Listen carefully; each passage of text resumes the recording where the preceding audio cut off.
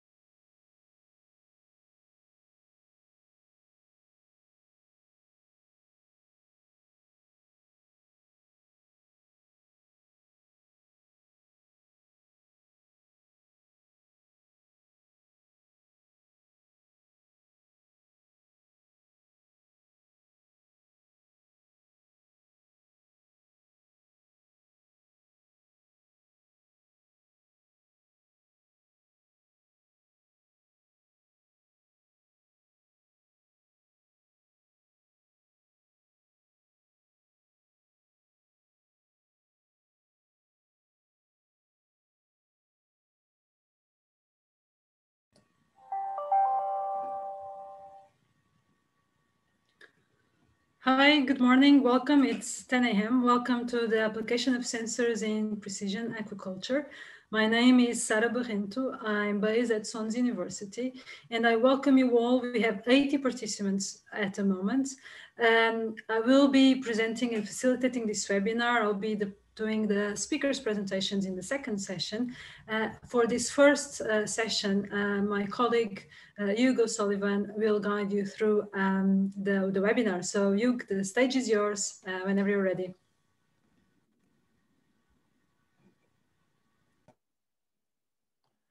Thanks a million, Sara.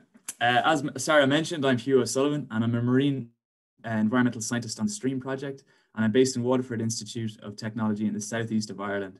Uh, welcome to this webinar and before we get started, I would just like to quickly go through the webinar format. Um, so,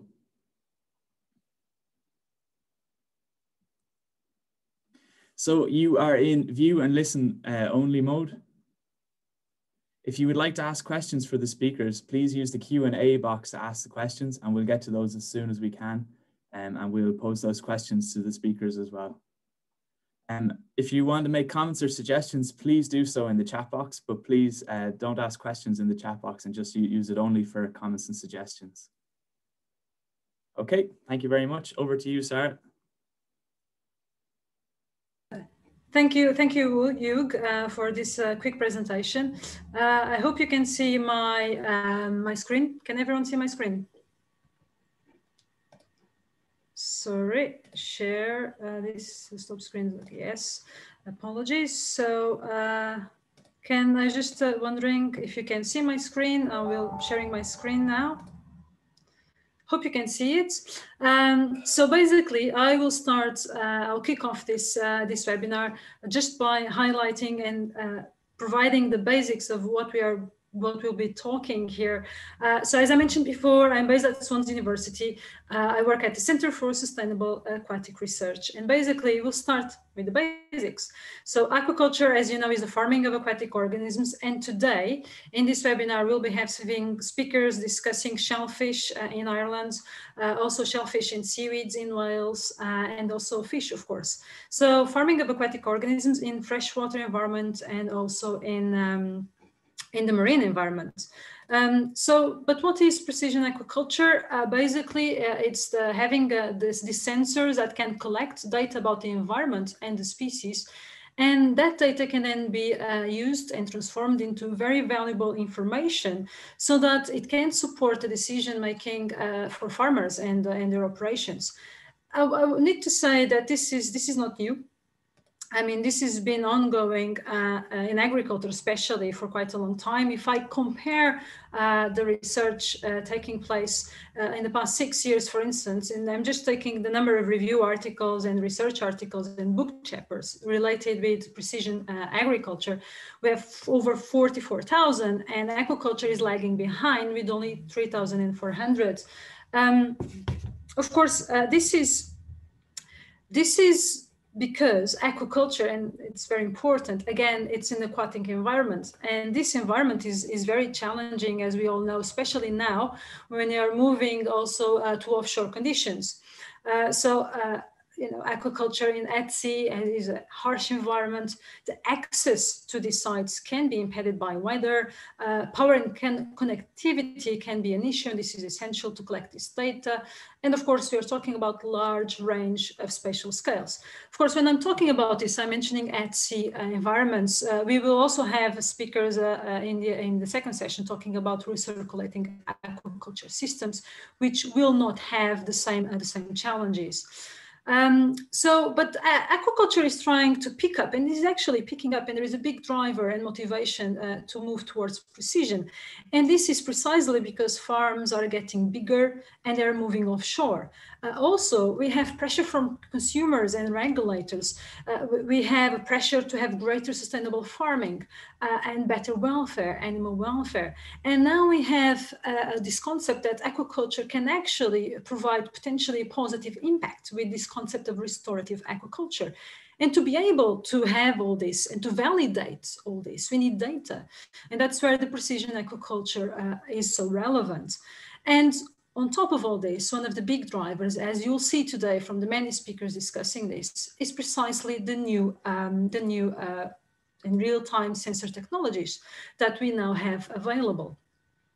So, and if you want to, just to go a bit deeper, precision aquaculture, the typical framework, you have sensors that will collect and integrate data on the environment. And we'll see this, uh, uh, Paul Shanahan, for instance, will discuss some of the data, but you have the aquatic environment data, temperature, nutrients, pH, salinity, pollutants, just to name a few.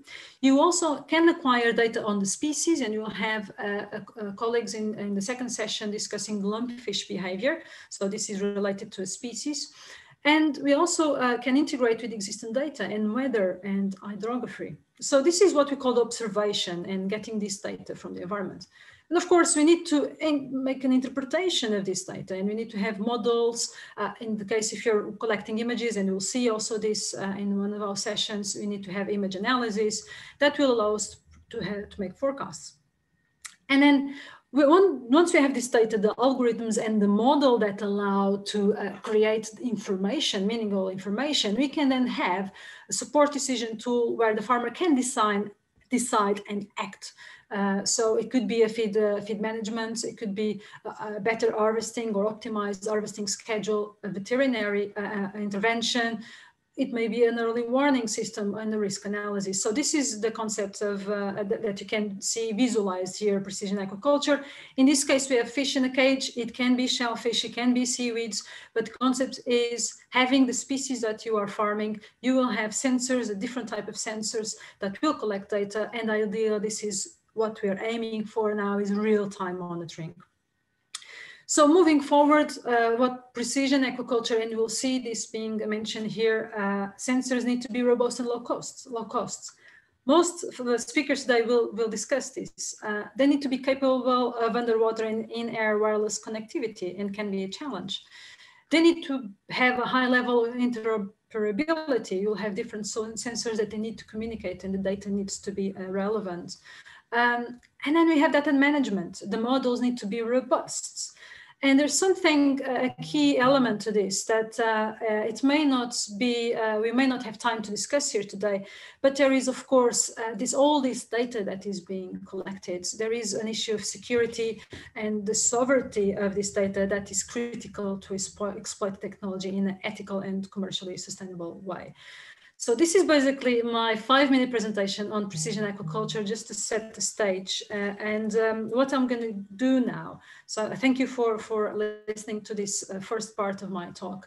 What I'm going to do now is carrying on and introduce you to the project that is actually also uh, funding this webinar, but is, uh, is uh, has a component of, uh, of, aquaculture to it that I think it will be very relevant in welfare. So Access2Sea uh, is basically new opportunities for more competitive and sustainable blue growth in the Atlantic zone. Uh, the main aim, as you can see from the title, the long title, is to improve the availability of the Atlantic shore for aquaculture uh, SMEs.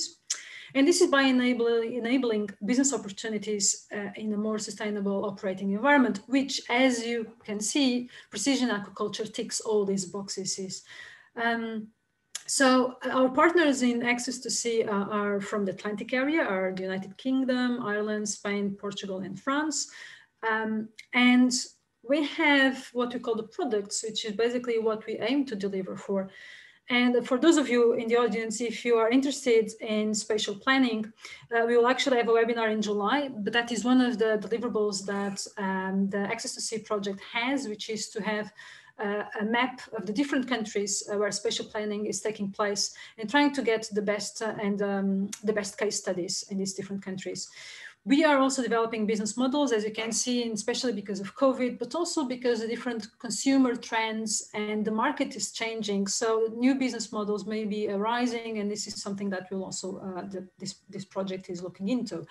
But what is uh, relevant to this webinar today is the social acceptability. So Access2Sea aims to increase social acceptability by having a strategy to improve this accessibility. And in the case of the UK, uh, we've realized that, lump, uh, that, welfare in general is, is very important and we identified specifically the cleaner fish, so lumpfish, uh, as, uh, as very relevant to discuss and to actually implement new tools for uh, implement uh, proper lumpfish welfare um, at the salmon cages.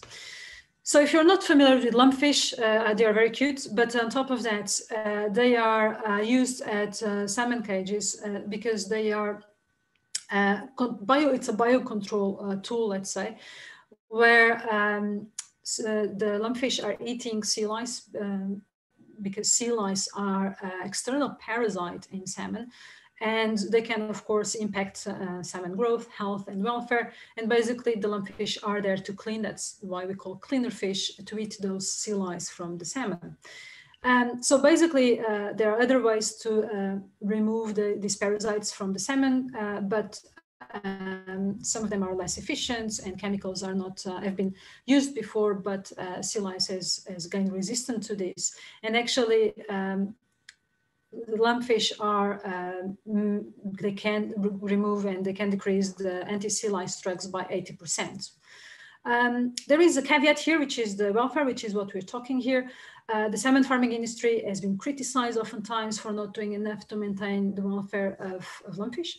And there's been many concerns that were raised by consumers that prompt pressure groups to discourage the use of, um, of cleaner fish until these welfare standards are, welfare standards are met. Uh, and there's actually studies suggesting that consumers are willing to pay uh, for better well, welfare for, for fish in aquaculture. So Swansea University and the Center for Sustainable Aquatic Research, in collaboration with, um, with the salmon industry, uh, we are developing technologies and basically a tool that will be accessible online and you can download as a software uh, that will allow uh, farmers to monitor and record the welfare of lumpfish. The tool will have a component of online training, but it also have uh, a body mass index calculator to see if lumpfish are overweight, or most likely underweight or emaciated, and also a rapid welfare assessment tool that is based on a ser series of operational um, lumpfish welfare um, practical uh, tools that were developed by, by CSAR, by the Center for Sustainable Aquatic Research. So um, what this tool allows is that once you have an input data uh, about uh, the biometry of the fish, for instance, and you have a score system for the welfare of fish based on the skin or the eye condition and the suction deformities, then once you have that data, this tool will then uh, integrate the data and calculate the body mass index, the body height, the lumpfish operation welfare score index, which will allow you to know and to tell if the lumpfish are in good welfare or in a poor welfare state. So then we have, and this is the critical bit, and that's why it's important to have these algorithms, um, and it's the, the component that allows for farmers to decide, and it's supporting decision tool. So we, we have in this case, it will allow the farmer to know what is the proportion of fish that are emaciated, normal weight, underweight, or overfed. It will also provide a maximum mesh size that should be used to prevent uh, lumpfish from escaping from sea cages. And it also allows uh, and provides basic statistics on a series of descriptors, but above all, it provides remedial actions. And this is what, what this is fundamental in this case. We're talking about remedial actions. So um, this is basically uh, the, what I wanted to discuss with you in terms of what this project is doing.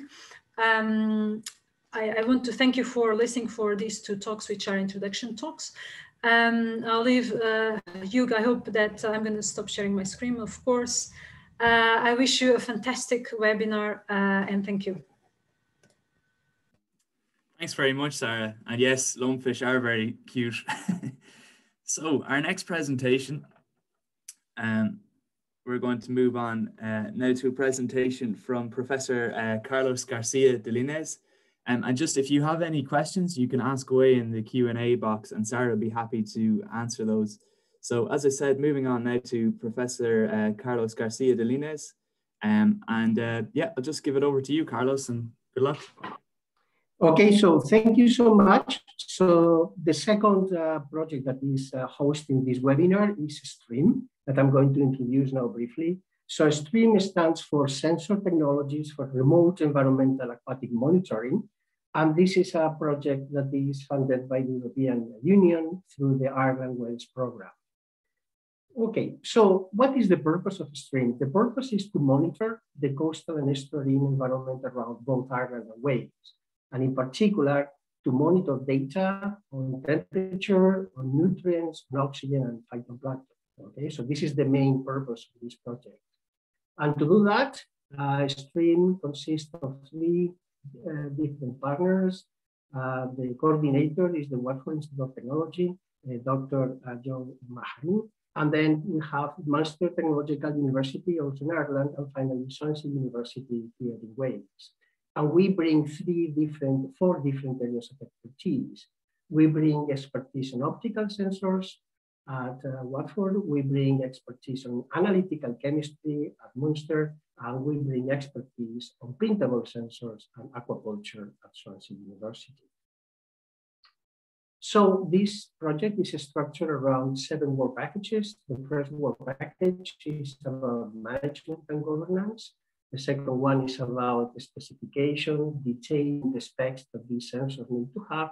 The third work package is about disseminating the results of the stream. And work package four deals with ICT enabled sensor technologies. Work package five deals with sampling and monitoring. Work package six deals with the deployment of the sensors. And finally, work package seven is about capacity building, and in particular in relation to the future changes which uh, uh, climate change is likely to bring about in the RBC. So the main challenge that we want to address in this project, that we are addressing in this project, is very simple. How to make the best possible use of environmental data. And the approach that we are taking is a three-pronged approach. On the one hand, is by using better sensors to develop a more affordable, cheaper sensors. And to do that, uh, the new sensors which are being developed are going to be are being benchmarked against commercial sensors. And that will enable us to test the performance of the sensors that were developed in the stream. Okay? The second way that we are approaching this challenge and we are trying to overcome this challenge is by being clever about how these sensors are deployed.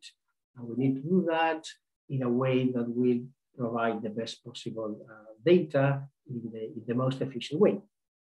And a range of uh, sensors, uh, an array of sophisticated sensors is being deployed both around Ireland and Wales for this purpose. And the third way that we are uh, using to overcome this challenge is that all this data would not be of any use if it was not available, accessible to users. So for that reason, an online portal is being developed that will enable users to access both data in real time and also to have access to data that has been stored previously. And this is in essence the three approaches that we are taking on stream. So thank you very much.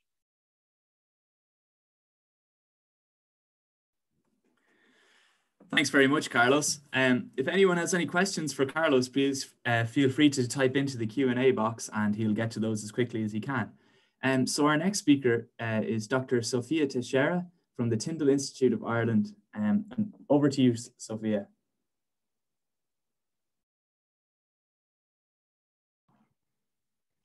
Thank you. Okay. Okay, this is not, okay, it is. Thank you very much. So I have a slightly different approach. So I, I'm not as studying in all the types of fish. So I only develop the sensors. And after um, I collaborate with someone who actually does the measurement. So I will talk about some of the applications we did, but more about why the importance of using sensors for uh, welfare of fish. So basically, we develop different types of sensors independent of the materials. They can be from carbon, carbon materials to uh, noble metals. Uh, we modify that surface um, depending of the target biomarker we are interested, we modify accordingly what we need. After we attach the bioreceptor, which we are interested, and we will have um, a signal. All these sensors can be three electrodes uh, system or two electrode systems, depending on the um, target we are interested um, in. So uh, the quantification of biomarkers, biomarkers is, uh, can be done in very different ways. So first we identify what is the target we are interested, uh, can vary from many different uh, uh, uh, targets. what we do is we collect a sample um, and we add in our sensor. That samples can be differ from, from different um, types of, of um, species. And after we use uh, the electronics in combination with the sensor to have a, um, a monitoring on a computer or a phone, um, doesn't matter if we have a connection to a, a device. We can use biomarkers for different types of, um, of material, of, of screenings or diagnosis. So we use for the screening to understand the highly specific and to minimize as well false positives or negatives depending on the target. Uh, we can use for do uh, easily detected and without non-invasive procedures and as well be cost effective.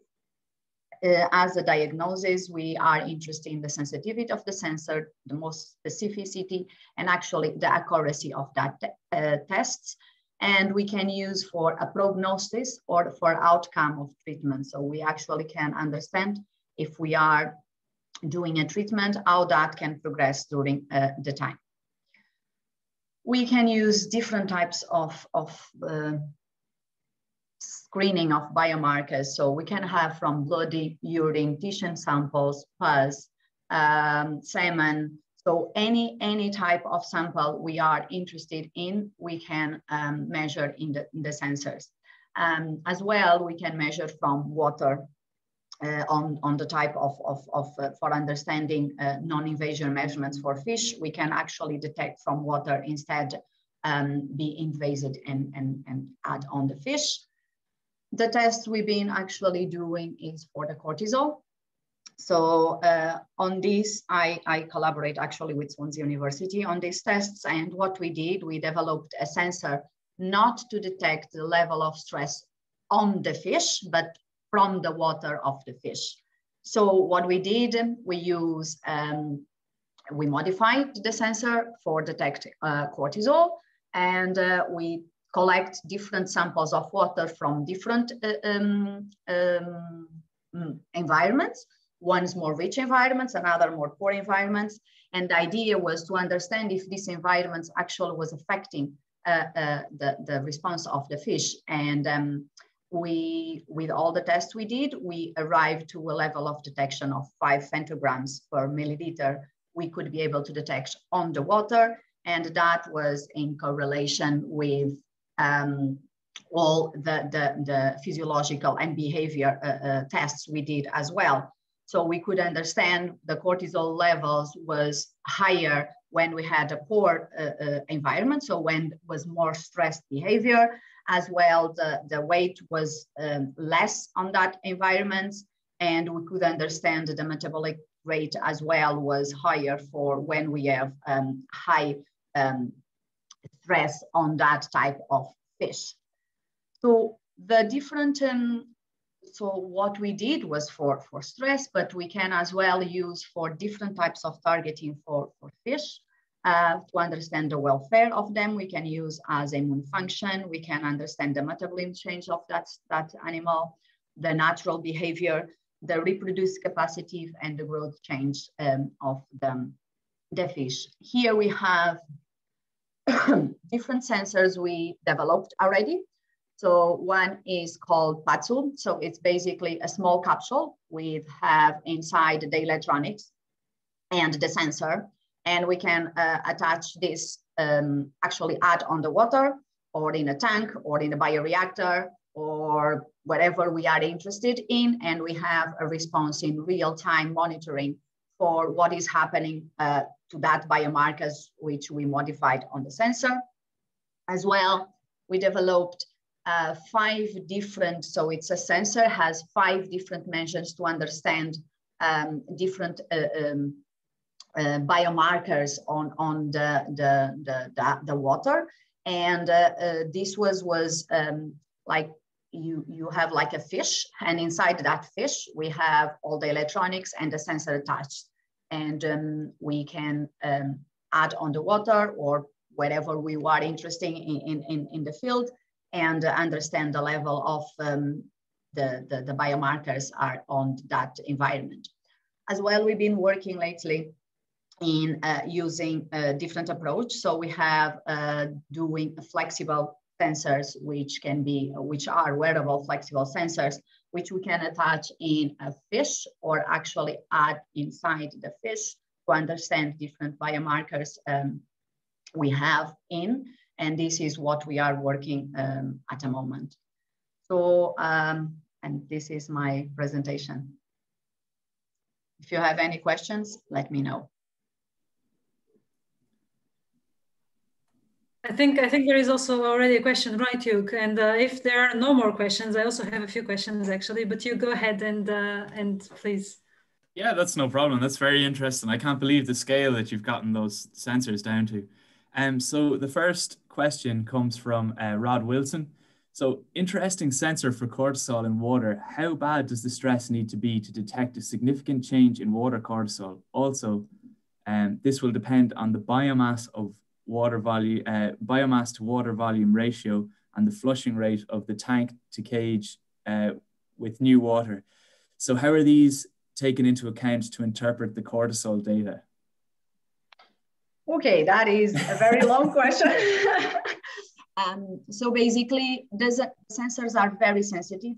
So the stress doesn't need to be uh, uh, very big. So we can go at, at ranges of femtograms uh, of level of stress in, in, in, in the, um, the environment itself.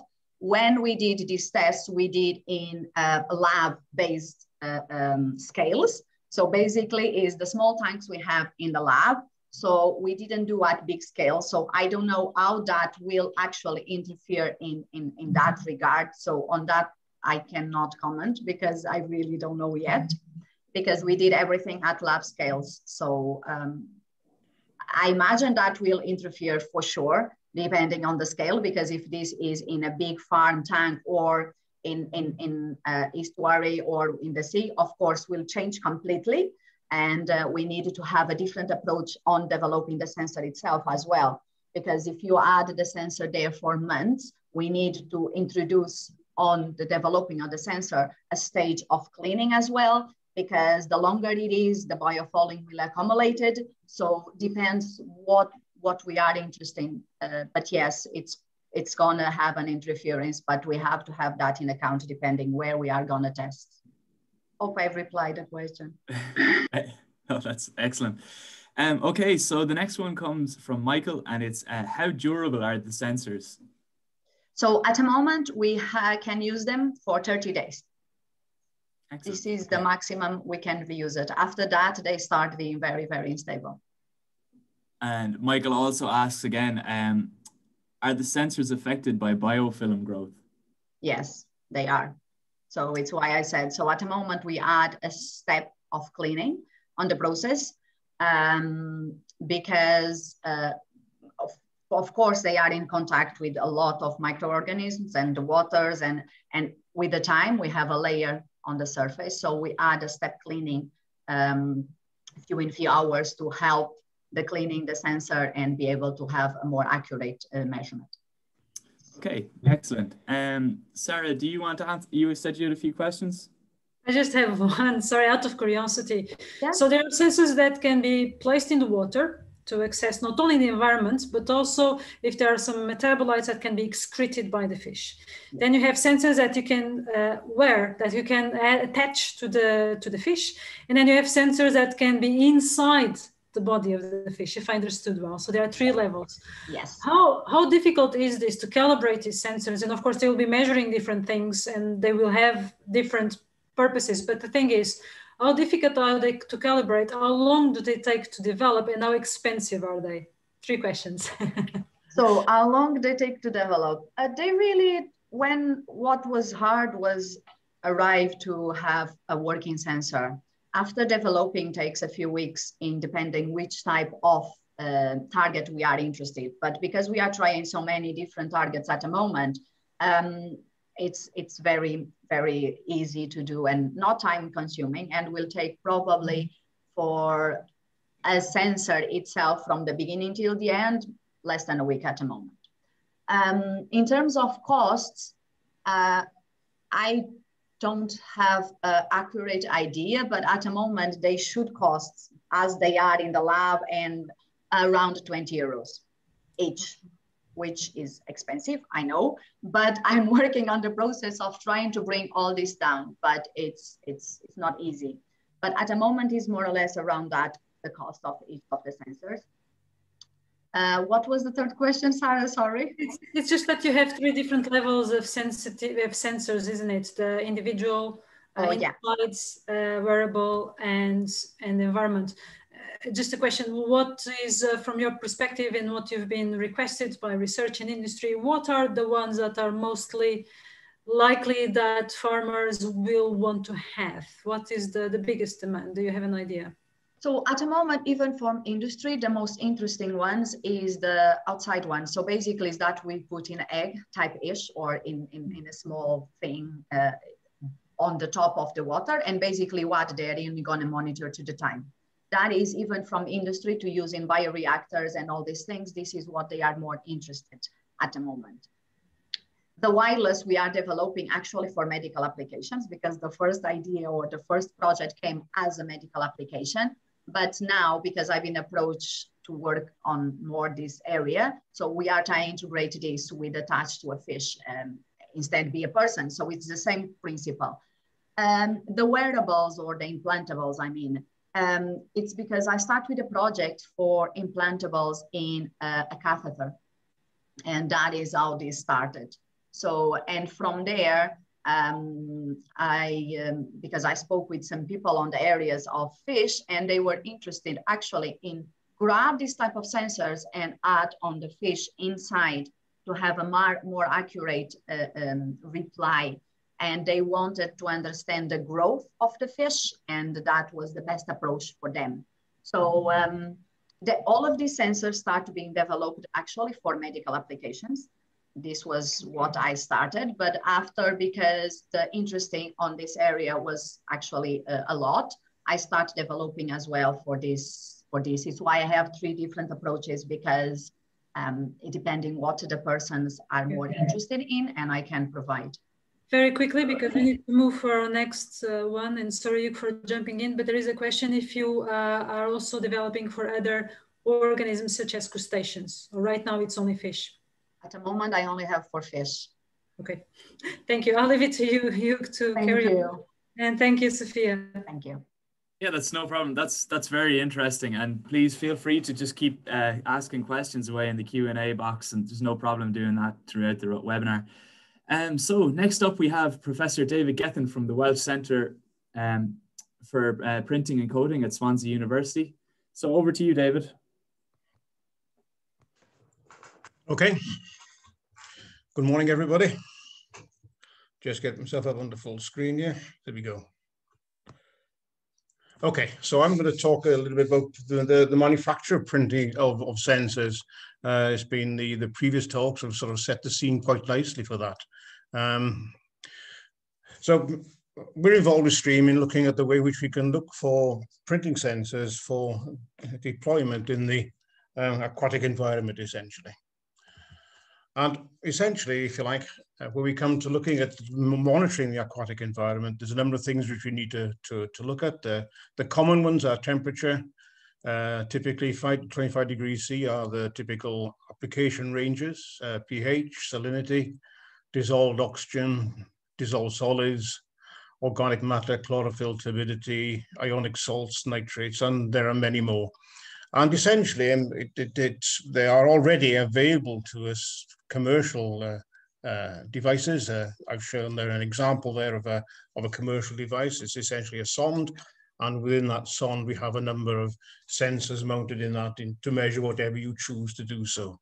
Uh, this is provided by Xylem. There are other manufacturers of, of these devices as well. So again, uh, building on the previous presentations, then uh, when we come to looking at data capture, Sara mentioned this quite extensively, then gathering data back from the sondes, it can by handheld, preferably by wireless transmission to a receiving portal. And essentially in that way, we can generate very large volumes of data, which we can then look to analyze. And part of the stream activity is taking large volumes of data and to look at big data analytics in terms of understanding what we are capturing, uh, provided the, the data is, uh, is good and, uh, and, and, reliable. Obviously, the management of that at time trends, space trends, etc., etc. So there's plenty of options there for manipulating the, the, the data once you've got it.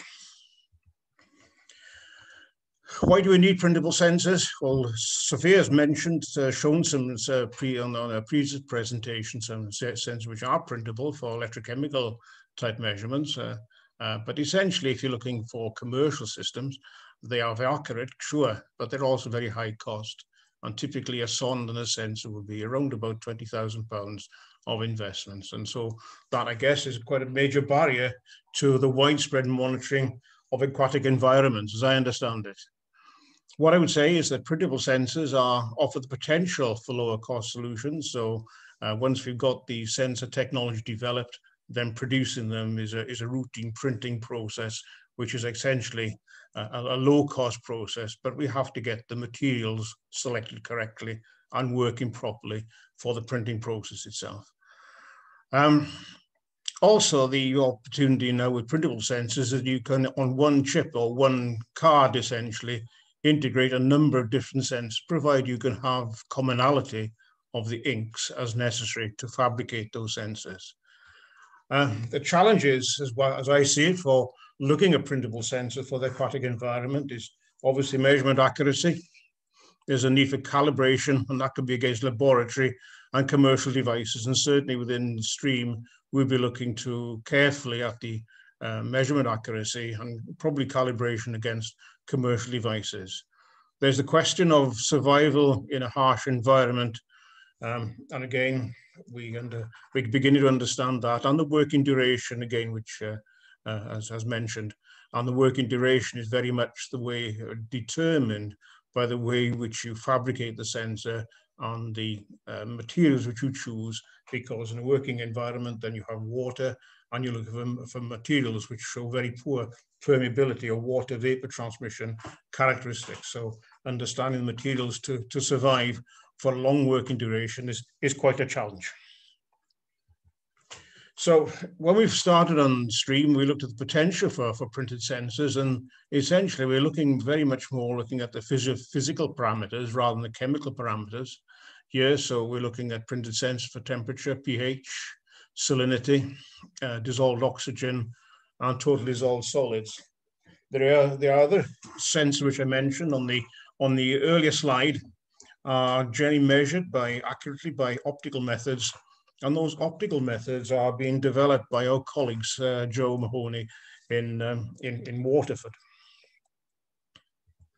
So therefore then I'll tell you a little bit about how you can make um, uh, these low cost sensors and essentially we use printing methods. And this particular slide here shows you a, an example of, of, a, of, a, of a printing process, which is uh, screen printing. And I guess that these, the, the, the sensor that Sofia showed are, are fabricated by screen printing. And essentially what we can do here is to have a substrate, which it could be paper or polymer film, or it could be a rigid substrate. Uh, we then have a, have, a, have a screen here, which is nothing other than a, a woven mesh. And that woven mesh has apertures built into it through digital stenciling.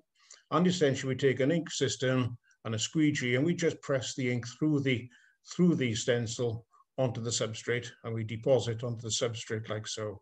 And ultimately we end up with a, with a pattern as we see fit. So, and what I would say is that the, in terms of sensor manufacturing, whether it's for, for diversity of applications, biomedical application, is principally by screen printing processes that, that uh, sensors are, are delivered. The other potential methods which we which we be considering within Stream, I guess, would be using inkjet, and typically we have inkjet systems which are there for depositing functional materials, i.e. Uh, electrical conductor materials, polymer electrolyte materials, and the like. And there are commercial devices for doing just that. And the other method which we can look at is there of aerosol jet printing. And again, I know that uh, Joe at uh, Waterford is looking at use of aerosol jet printing for fabricating parts of his optical sensors. And essentially what we do there is to have a our functional material, which we atomize, and then we direct it onto the substrate. And typically, we can print uh, characteristic uh, lines of this nature. Uh, in this line here is typically about 10 micron wide. So we could, that's the sort of resolution you can get using aerosol jet. But again, there's a, a learning curve in going how to use that. But again, you can deposit functional materials using these this sort of technology.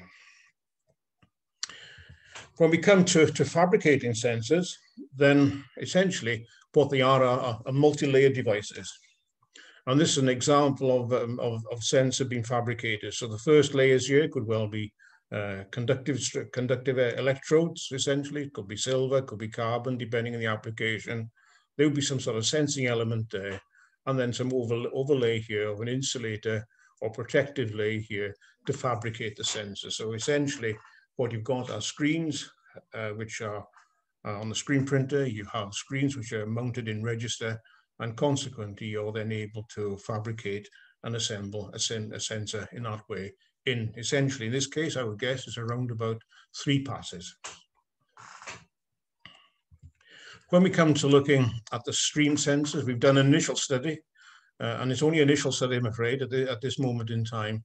And we looked at sensors for conductivity, and so these are two-layer devices, essentially conductive layers, interdigitated electrodes, and some sort of insulating layer around the outside here, and that can be a, a, a silver conductor or it can be a carbon conductor. As the matter might be, we've looked at pH sensors as well, uh, where the sensing layer is a, is a, is a, is a carbon PSS combination.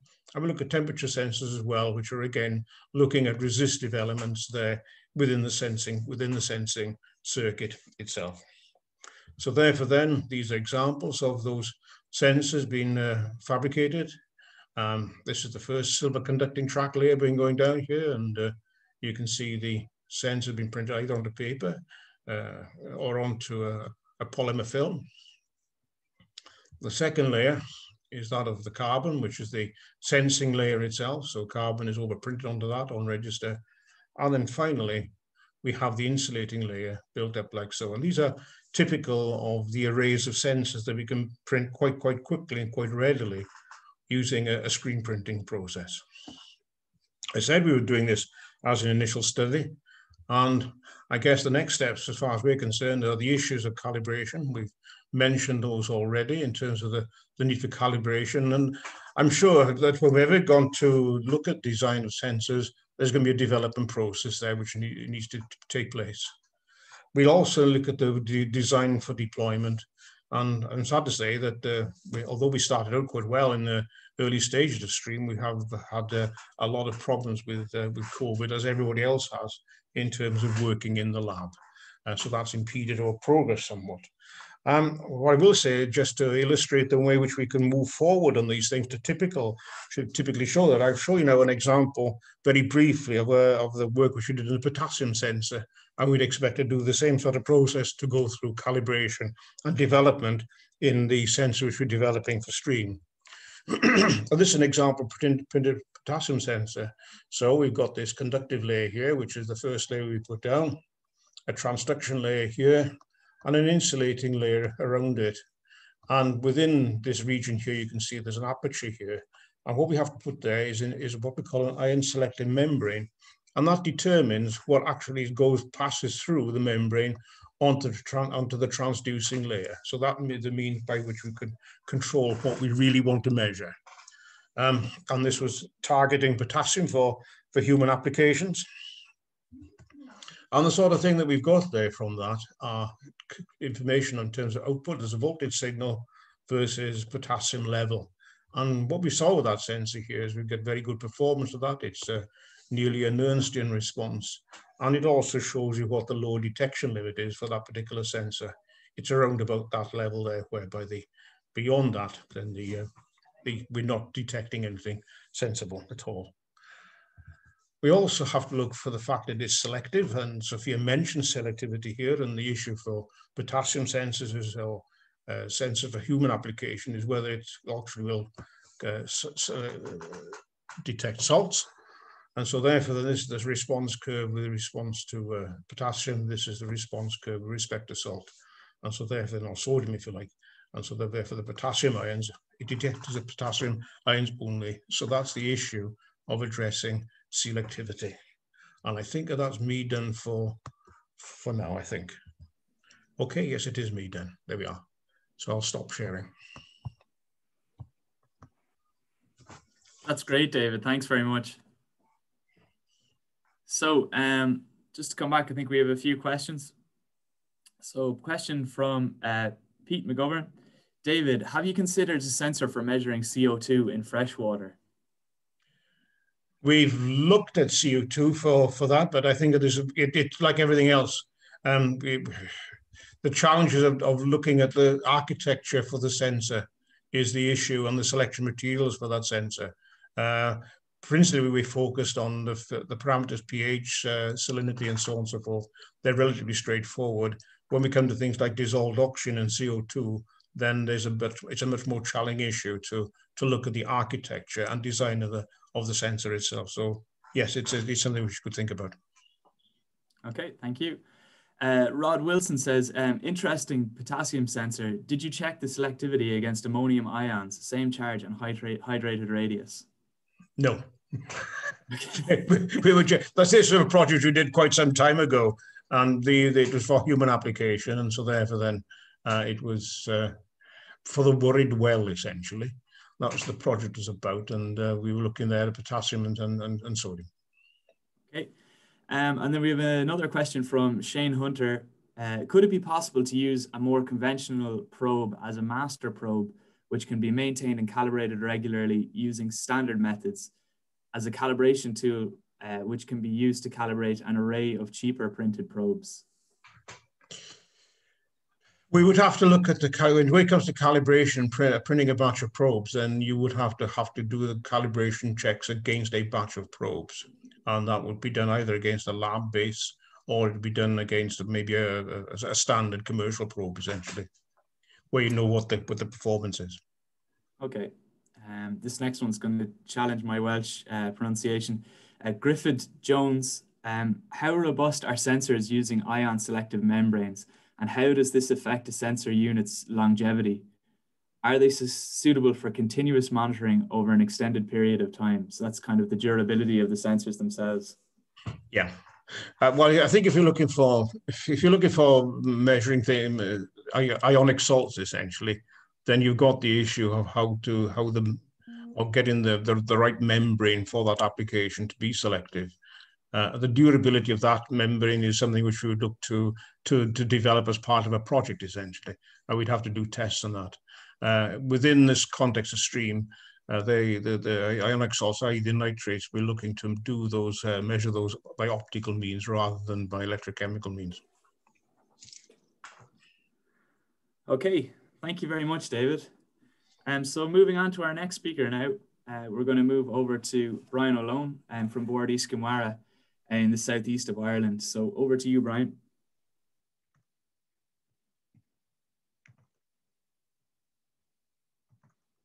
Okay, hopefully I'm in full screen mode there and hopefully you can see the camera. Yeah, so, see perfectly. Thank you.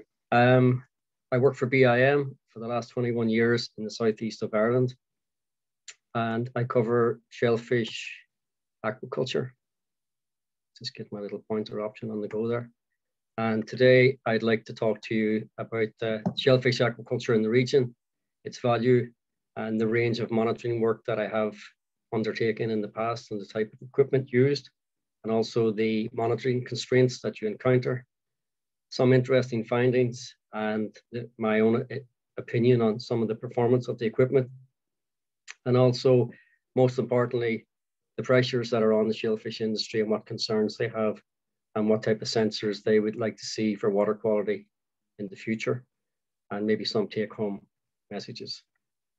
So my region is the southeast of Ireland. I'm based in Wexford town.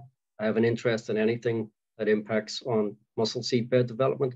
I have an interest in all of the catchments leading down into the shellfish bays. There is some freshwater aquaculture there, but other people in BIM cover that.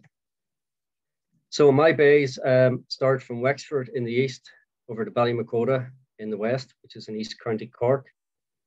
And mussels uh, in Wexford Harbour are the longest established since 1973. There are four oyster bays, Dungarvan, Ballymacoda, Bannow and Ballyteig. There's another mussel bay in Youghal, and there's Waterford Estuary, which has oysters and mussels. And the product is being sold mussels to Holland and France. The better quality uh, mussels go to Holland in bulk, and oysters go bulk to France and also to Europe. But more recently, they have been purified and packed by some of the bigger companies for the Asian market. So just to kind of look into some of the production areas in a little bit more detail. for Wexford Harbour, um, mussels are grown subtidally, roughly within the red areas. It's a highly dynamic uh, system in Wexford Harbour with moving channels and sandbanks. As I say, no mussels are cultivated on the sandbanks.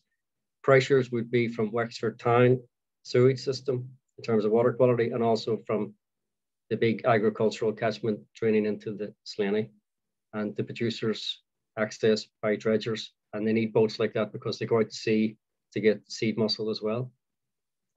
Bannow Bay is a sheltered intertidal bay for oyster farming and the oysters are grown in here. It's noted for its soft substratum, high productivity, and it's got uh, very meaty oysters, which are world famous. It's got a large agricultural rural area, and it's also got some pressures from small villages and septic tanks. Dungarvan Harbour is the largest oyster production bay in Ireland. It takes place on the White House Bank here. It's a more open bay, exposed to the east.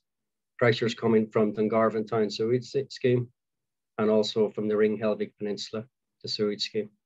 But as I say, tractors are, are, are accessible on all parts of the shore there, and there should be some work coming up with WIT with deployment of an exosonde in Dungarvan. So we're looking at the tonnage of shellfish that are produced uh, using BIM figures over the last 10 years. Mussel exports have dropped in recent times due to curtailment of seed supply in the Irish Sea. Oysters were up at 4,000 tons at one point, but in recent times, in the last couple of years, we've had some mortalities and also the impact of the pandemic. So in terms of value, oysters are a higher value product. They can turn over 18 million a year, whereas mussels are considerably lower at around three, possibly four million per annum. And recent years, oysters affected more by mortalities and the pandemic than mussel farming. And that's just a kind of, I'll skim through that. That's just basically the production or the employment figures across the region for the two sectors. But it's important to say that from the Southeast is very important for mussel exports. They account for a large proportion of the national output and the oysters were at 50%, but they've kind of tapered off in recent years due to development of other oyster bays in the country. But apart from the economic turnover, um, you have direct, you also have some indirect uh, values and also ecosystem service values. I had to calculate these for a thesis uh, back in 2016 and 17. And these are really important for rural coastal communities, downstream jobs. And the ecosystem values are significant and shellfish are unique in the removal of nitrogen and phosphorus in particular. And th this is something that's probably going to become more important as the years go by. So in terms of the monitoring work that I have done in the region, it can be from very small, deploying simple temperature loggers, to scaling up deployment of loggers, to data sondes, to hydrographic studies for producers, spot monitoring, uh, scale hydrographic current meter deployments, and then the full uh, ensemble was the Uisce project, which involved a lot of people monitoring for several years and feeding the information into a team of academics who modeled shellfish growth in two of the bays in the region, that's Wexford Harbour and Dungarvan. These days, mostly my monitoring is confined to summer monitoring in oyster bays affected by above average mortalities. That's just for reference, that's the Uisce Project Partners International Consortium.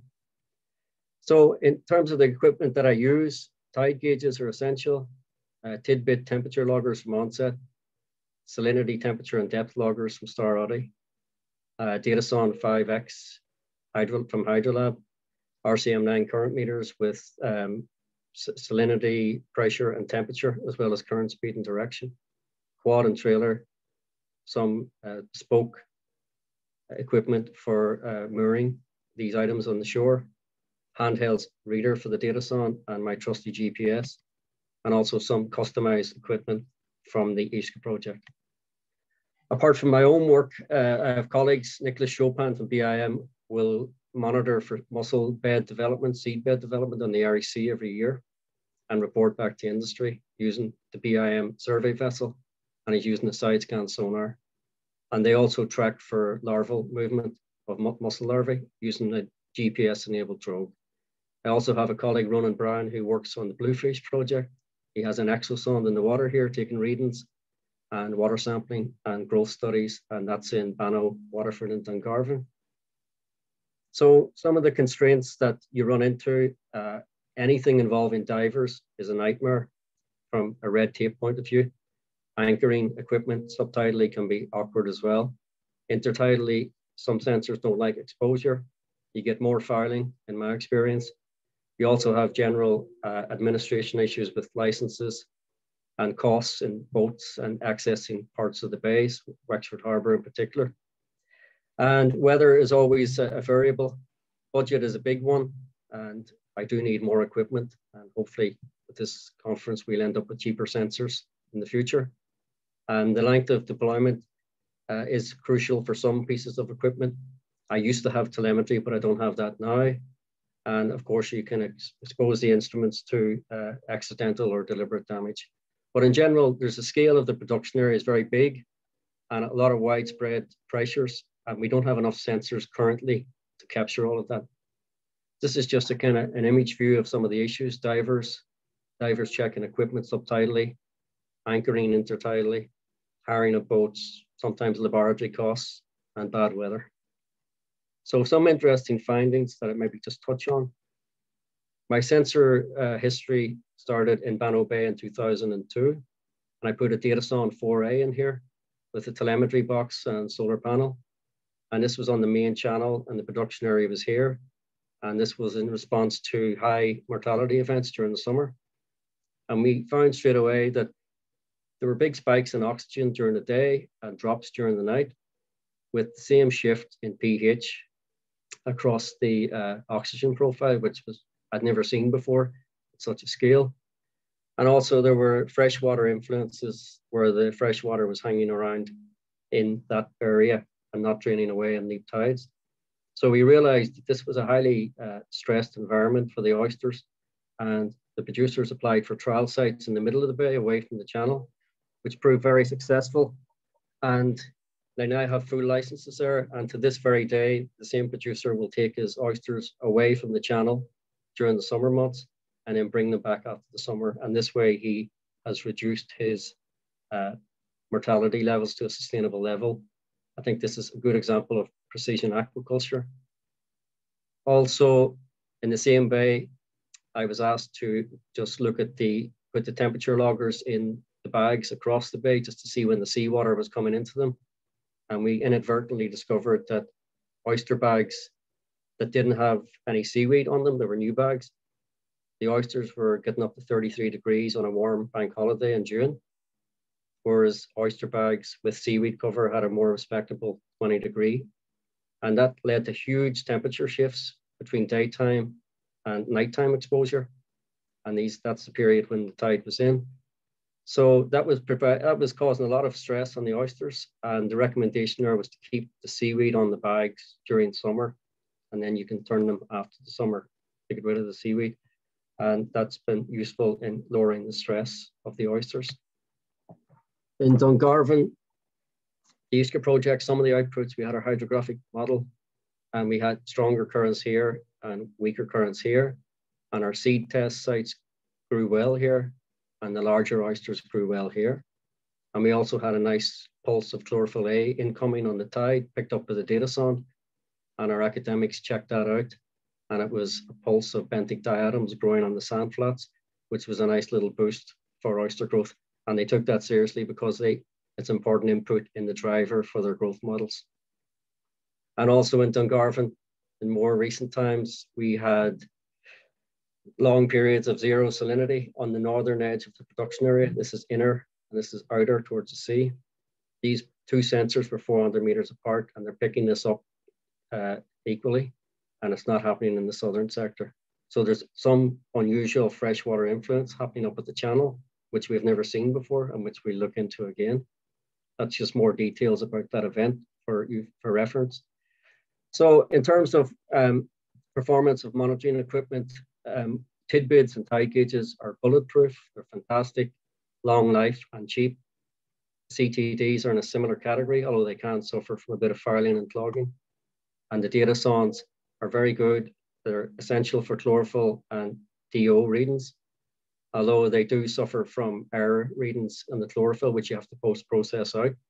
But the DO fluorescence was a really fantastic development on these machines, and they're good for handheld readings. The only big bugbear I have with them, if you get a sensor causing a problem, it can drain the battery and then everything fails during the deployment. The current meters were extremely robust and reliable, and I never had an issue with them until a tractor drove over one, which was a bit unfortunate. And basically, um, the problem we have here is that there's no real-time data and no alarms for industry. And these are the concerns that industry have. Micro, microbial E. coli shellfish classification, they need a B or better to export. And that pressure comes from human, wildlife, or agriculture. And for oysters, norovirus levels uh, from human sources can impact on sales to Asia and depuration is required. And excessive mortalities can also be caused by herpes or vibrio microbial causes. In the southeast, we don't have too many toxin issues, eh, algal toxin issues, but there are out there unknown causes which undoubtedly have a problem for the industry.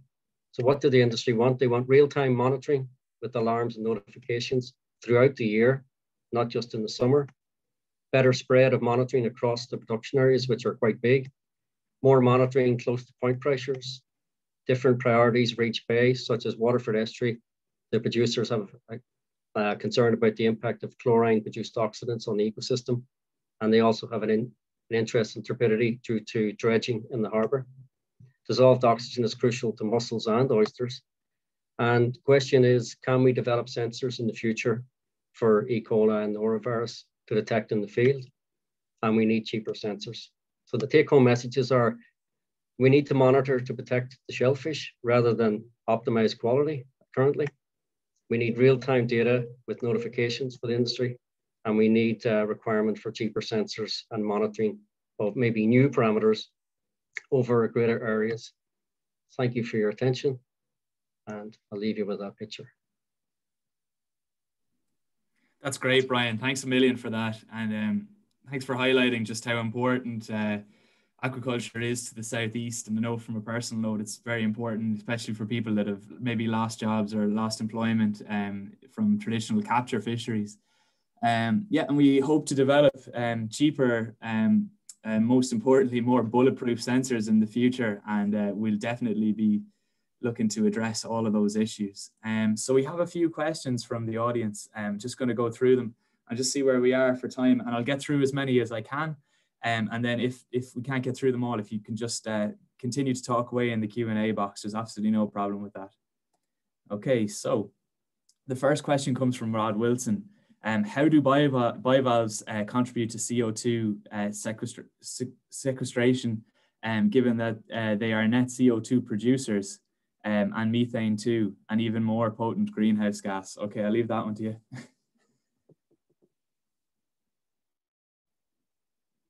Hello, Brian. Sorry, uh, I was just typing an answer on the Q&A. Sorry, I thought you were asking somebody else a question, or if you say it again. No, do you want me to repeat the question? Yeah, yes, please. Yeah, no problem. So the question is, um, it's from Rod Wilson. How do bivalve, bivalves contribute to CO2 sequestration, um, given they are net CO2 producers and methane too, and even more potent greenhouse gas? Um, from the the literature that I've reviewed on the carbon sequestration, it's, uh, it's a 50-50 uh, divide between what the academics think. And uh, I did emphasize that most of the services, that the most important ones are nutrient removal from nitrogen and phosphorus. But some academics do believe there's research from Australia that do put a figure on carbon sequestration, but it's a highly contested issue uh, in shellfish uh, ecosystem services. Okay, that's no problem. Um, and like I said, look, if pe people have any questions, if you can continue, Brian will be happy to answer them in the Q&A box if he has time. Um, we're just coming up to the break now. Um, sorry, just one second.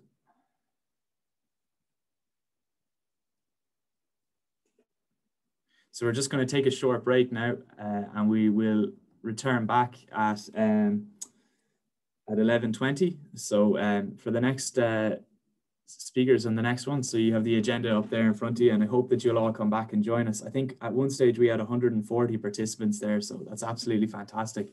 I look forward to seeing every single one of those people back for the next uh, speakers. Thank you very much.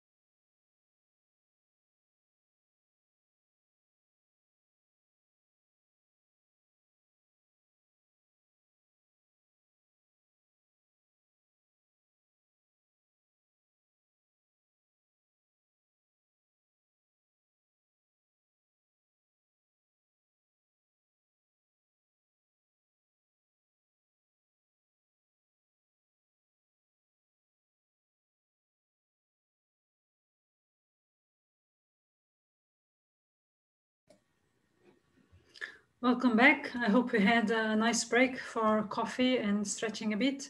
Uh, I want to thank you all uh, for participating in this webinar and I want to thank all the speakers. We are now start, starting our next um, next uh, session in the agenda. Uh, we are still in Ireland. We're going to start with Paul Shanahan from the National Maritime College of, of Ireland. So Paul, if, uh, if you're there, uh, you, can, you can share your screen and start your presentation.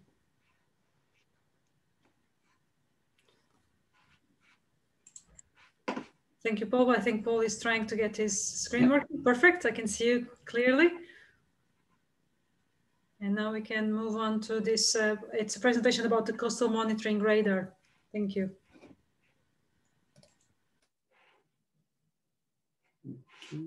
Oh, I shared wrong screen. Yes, uh, yeah, we can see it. All right, all right. Um, sorry, I've lost it here in a second. Uh, we can see your screen. It's not on presentation mode yet, but. Um, oh, can you see my screen? Yeah, because I've lost. Um... We can see the first. Yes, perfect. Oh, okay, yeah. Sorry. Perfect, fantastic. Okay. uh, typical, typical. Uh, thank you, Sara. Um, Sara said, I'm uh, Paul Shanahan from the National Maritime College in Ireland. I work in the uh, the Halpin Research Centre there. Uh, we do all um, maritime research for um, the National Maritime College. And uh, just for anyone who uh, wouldn't be aware, we are also one of the colleges of um, the Munster Technological University, previously CIT, just, just in case anyone missed that one as well. Okay, so um, I'm going to talk today uh, about um, our involvement in the STREAM project. Um, and uh, it was mentioned earlier on by um, by David and uh, Carlos. Uh, we're a partner, a full partner in this project. And uh, one of Halpin's um, roles in the project uh, will be deploying sensors similar to what the other partners are doing in, um, in Waterford and in Swansea. And we'll be deploying similar sensors for monitoring of um, you know, water quality. And we will also be deploying um, weather stations um, to, to back up those um, sensors. Uh, we're also going to be developing a, a pumping system which will allow us um, hopefully to take uh, large samples um, uh, from the water without actually removing the water um, in a similar way that uh, spat bags are used to take samples.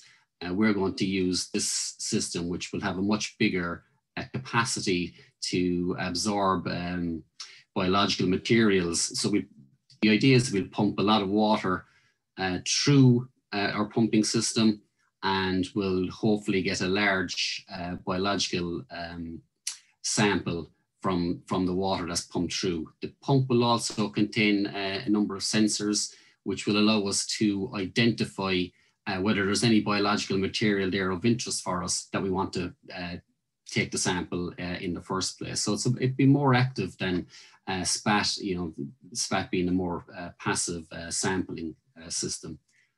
Um, we're also deploying uh, coastal monitoring radar stations, and uh, I'll talk about them a little bit more.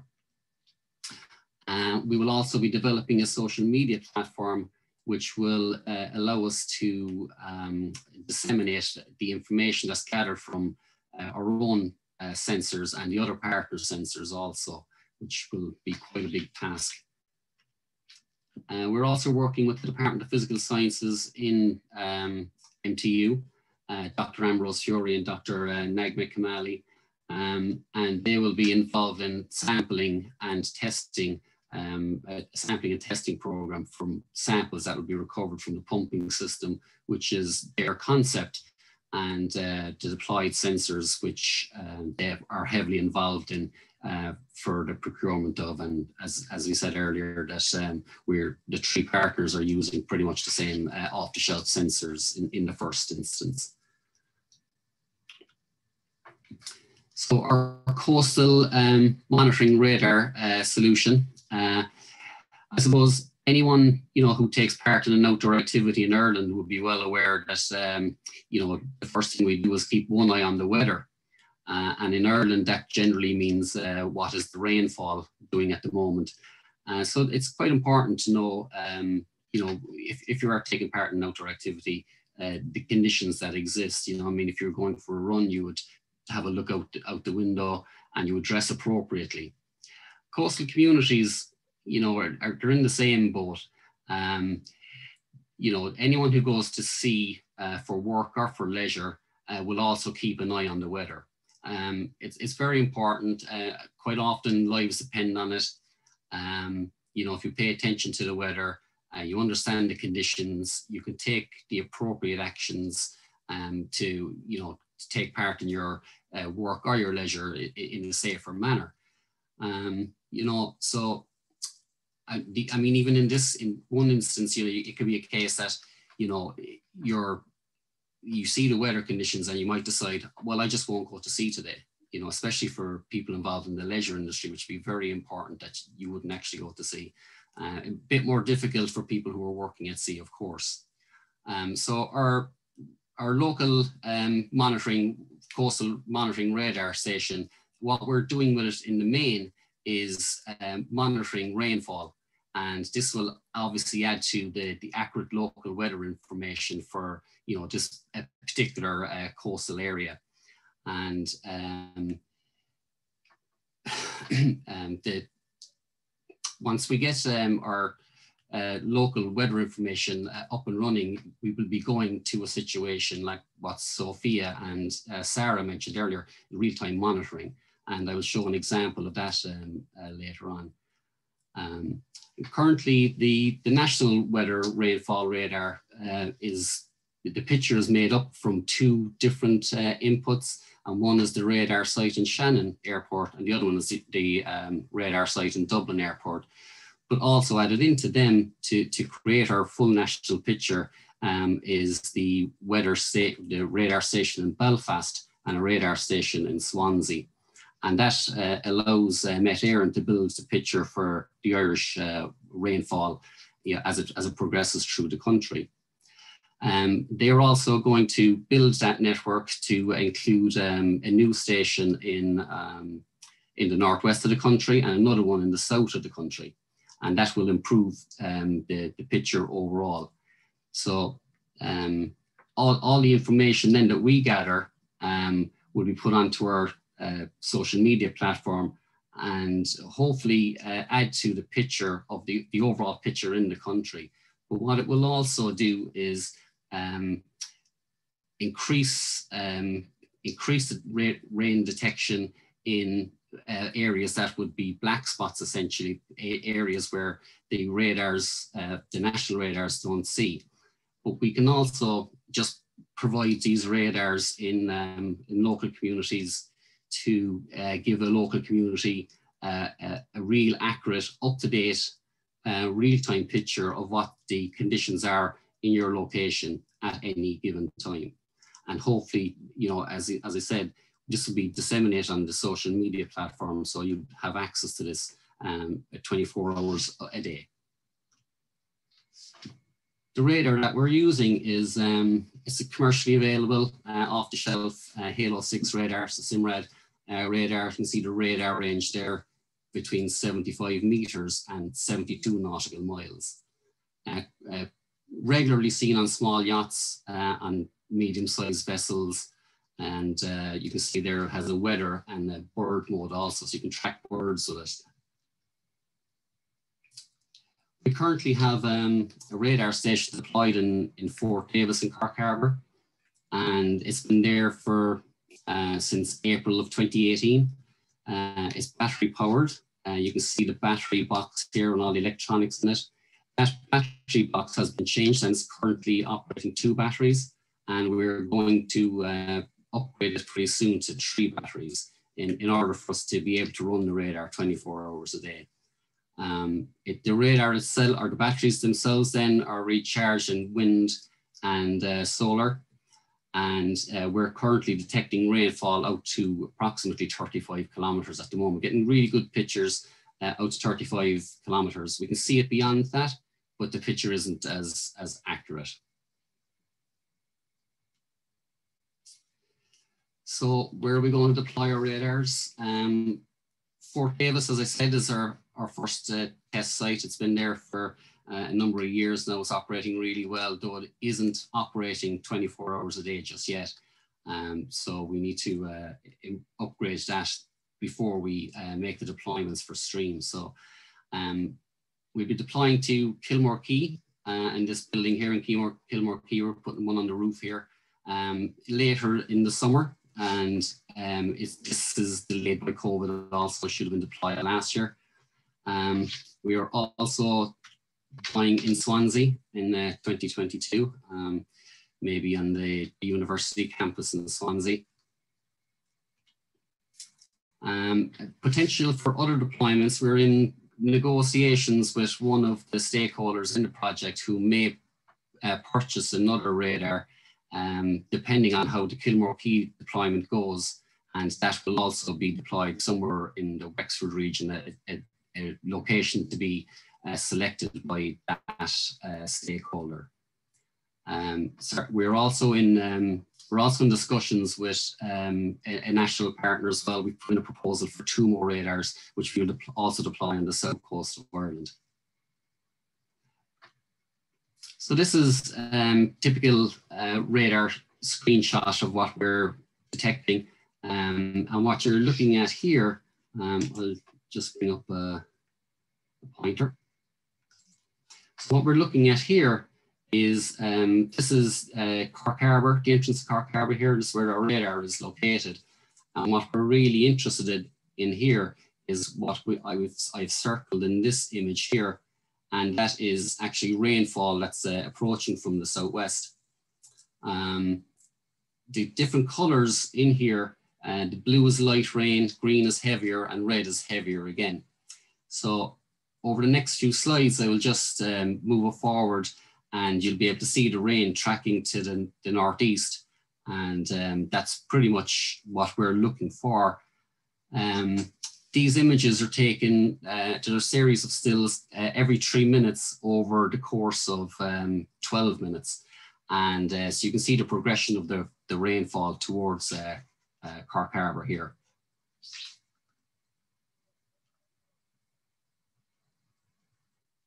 So you can just see it moving uh, in a northwesterly or northeasterly direction um, up over Cork Harbour. And if I just back it up there again, and um, and you can see also uh, it's getting more red, more red images here, which means that the rain is, is starting to, to dump, and uh, it's getting a lot of green in here now as well. And that's um, that's pretty much what we will be um, uh, disseminating on the platform something similar to this. In it'll be a series of still pictures over a period of um, you know a, a, few minutes between each uh, image, because uh, it would take a lot of data to um, to have a live uh, feed of of the actual radar image. Okay, I think that's me done. Yep. Thank you. Thank you very much. Thank you, Paul. That was very very interesting. That's fine. Thank you. That was very, very interesting. Um, we don't have any questions at the moment. Um, but I, I, would like to ask uh, one question actually. You, you were saying that this is going to be shared on social media, but I suppose then you also have the data collated and collected and recorded somewhere else so that you can actually analyze that data and, and make predictions, I suppose. Yeah, um, I, am not the expert in it now, but uh, it will be yeah, collected and stored in the, uh, the, the data center in Waterford IT, okay. and uh, the we have two um, we have two uh, computer computer scientists who are working on the data who will transfer it into usable information, and it'll be it'll be um, added into the social media platform. Out of curiosity, how much does a system like this cost? um, the radar itself currently is costing um, it currently costs uh, just over 7,000 euros. Uh, we'll also require a license to manipulate the software. Uh, that's currently 1,500 uh, euros. Um, but to put the system in place, um, wind, solar, batteries, and communications links, and so on, uh, currently uh, is around 15 to 18,000 euros. Okay. Um, but our deployment in uh, Kilmore Quay uh, won't require batteries and won't require a communications link because we're because we're putting it on the building. They are allowing us to um, feed into their own power supply and also feed into their communications network. So the information will be transferred over the internet uh, back to the MTU. But at the moment, this means that the data will be available, and uh, you know, uh, aquaculture fishermen, everyone near the where your station is, your radar is, can have access to this data through social media that, that's that's the plan to to have it accessed uh, locally. So, but but but you don't have to be local to access it. So if the net as the network gets bigger, you know, so will so will the usage of the social media platform. It would be the intention. That is fantastic, Paul. Thank you. Uh, I will now move on to the next uh, presentation. Actually, we'll have three speakers for the next presentation. Um, uh, here from the aquaculture at the Center of Sustainable Aquatic Research. Uh, so we are going to present my colleagues uh, how we are using sensors in, in our Center of Research. And Paul, I suppose, is going to share his screen. Thank you, Paul. Thank you. The floor is yours. If you can uh, share your, your camera, that would be great.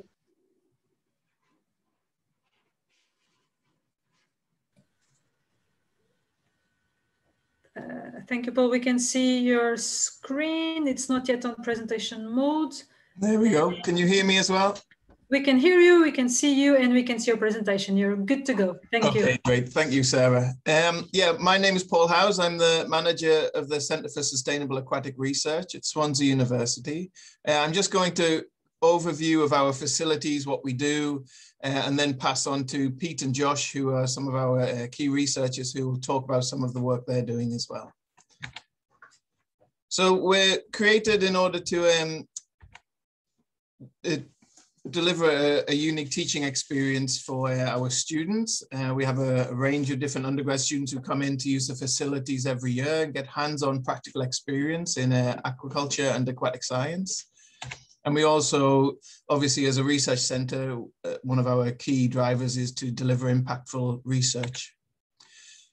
Um, we've also got a, a, we were originally established in 2003 in order to uh, help to boost the sector within Wales. It was, CSAR was funded through the Welsh Government, the EU and Swansea University. So we work really closely with a, a range of different industry colleagues from, from throughout the UK and further afield as well. So we have a range, range of expertise within CSAR. Uh, some of the some of the areas we really focus on are welfare and aquaculture and aquatic research, as well as larval culture and algal biotechnology. I'll go on to that in a, in a minute as well. Epigenetics, we have a large group uh, studying epigenetics and the environmental impacts of aquaculture as well.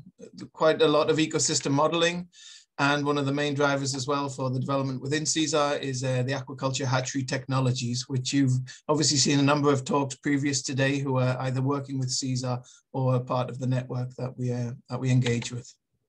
So the facilities at CSAR, we've uh, spent the last five years developing them. There's been over a million pound invested to upgrade and modernize all of the different areas within CSAR. You see some of the images there. Uh, we have 16 dedicated aquatic research laboratories. These include uh, 13 different RAS systems, so recirculating aquaculture systems, from small systems that are only a couple of cubic meters all the way up to uh, the image in the top right-hand corner of the screen, which is around 60 meters cubed volume. Uh, we've produced around 2 million lumpfish in that facility, in that particular room uh, over the last four or five years as well. So we've got a number of uh, rack system zebrafish or killifish racks as well for doing different sorts of behavioral studies and welfare studies there. We've recently also got a CRISPR lab uh, for doing genetically modified organisms as well. And we're diversifying into aquaculture, uh, aquaponics and hydroponics as well. All of the rooms are temperature controlled. So as we mentioned earlier with the sensor technology, not only do you have to know what changes are happening within a system, you also have to be able to maintain optimal parameters for the fish. We've recently opened a large um, new facility, which is called the Wales ACE Aquaculture Centre of Excellence. That's uh, looking at multi-trophic aquaculture. Uh, it's basically a range of different sized tanks to have a full uh, hatchery scale from broodstock to, uh, to uh, hatching cones. And it's also linked to uh, industry-sized uh, photo bio, bioreactors as well. This is part of the Algae D as well. They, they were kind enough to help install that particular biofence. So the idea being that we're investing in this in circular economy and doing research in the circular economy to look at how waste from fish can be used to grow microalgae, which can then be processed into feeds to in turn provide either full diets or diet supplements to fish. So we've got some of the largest uh, algal biotechnology uh, facilities in of any uh, HEI in Europe. So it's ranging from very small batch culture and master cultures to uh, biofences as well. So there's a number of different images there that you can see the sort of scale. Uh, we believe that excellence and welfare equals uh, robust research data. So in order to support that, we have the university named Animal Care and Welfare Officer. We have a fish vet who's a fish specialist who comes in once a week to check over the fish and give us advice on, on future, future direction for ensuring good uh, biosecurity within the, within the facilities and high welfare standards. And we also have a dedicated animal welfare technician who works with any students who are within the within the, the, the, facilities or any researchers to make sure that the welfare of the animals is, is optimized at all times. So within CSAR, like many uh, recirculating aquaculture systems, we monitor a range of different parameters such as the air temperature, water temperature, salinity, pH, oxygen, carbon dioxide, ozone, etc. Uh, obviously, within within our systems, we also have to be able to monitor these and be alerted if these change or vary. So everything is backed up by by alarm systems. So that's that's CSAR in a nutshell. Um, but we're trying to see how these sensors that are either currently in use within aquaculture and aquatic research and sensors that are coming onto the market, how they can be integrated into new sectors or expanded within the current sectors. So I'm just going to go through a few projects that we're, we're delivering at the moment that we see sensor technology is playing a key role in. So as I mentioned before, within the Wales ACE, um, the, the building that is looking at reusing fish waste to, to spike microalgae, we're looking at ways to develop sensor technology between the trophic levels so we can monitor the nitrites, the nitrates, the ammonia, uh, and other parameters that are being produced and see how that changes depending on what diet is being fed to the fish. And as you can see throughout this circular economy loop there in the bottom left-hand corner, we envisage sensor technology being placed at, at four of the key main areas within the, within the cycle. Uh, within within um, international development, we're working with a number of partners and different companies to try and develop how sensors can be used to integrate into low-income countries and marginal environments. Uh, obviously, at the, at the moment, sensor technology is at such a, a level for when it comes to expense that many stakeholders globally just can't can't uh, benefit from the use of sensors because of the price. So that um, that project, uh, Pufferfish project, is looking at ways that uh, we can again get the most out of the circular economy and reuse waste from fish to grow microalgae, which is then used to, to boost the, the, the microalgae, uh, my, the algal oil levels of the, of the omega-3s and things like that of the fish that are being consumed in some of these countries. Uh, lastly, before I move on to some of our researchers who can talk about their research, we have another project that uh, recently been funded. This is uh, another area where we see sense technology playing a key role, which is within the biophilic sector. So within Swansea city centre, uh, they're just starting to put boots on ground and shovels into the ground uh, to develop what's called the Picton Yard project. This is going to have aquaculture within the within the lower floors of the building the aquaculture uh, waste from the aquaculture will then be processed through membrane technology in order to produce fertilizers for growing plants in aquaponics and vertical greenhouses within the different uh, stories of the building. All of the people living within the building or renting the commercial space, space will form what's known as a community investment company, and they will manage the, the, the production of the actual building over the next five years. We see this as a test bed for for, for research, a test bed for how communities within city centres can, can be uh, invested in the circular economy, invested in food security, and also low carbon technologies. So a, a range of uh, photovoltaic uh, panels and photovoltaic, photovoltaic paint will be used. and we see sense technology as a way to you know to to to allow the public to see what is happening within a within the lungs of of of, of this particular building. So I'll pass on now to uh, Pete and Josh, who will talk about some of the research that's uh, ongoing and planned within CSAR as well. So thank you very much.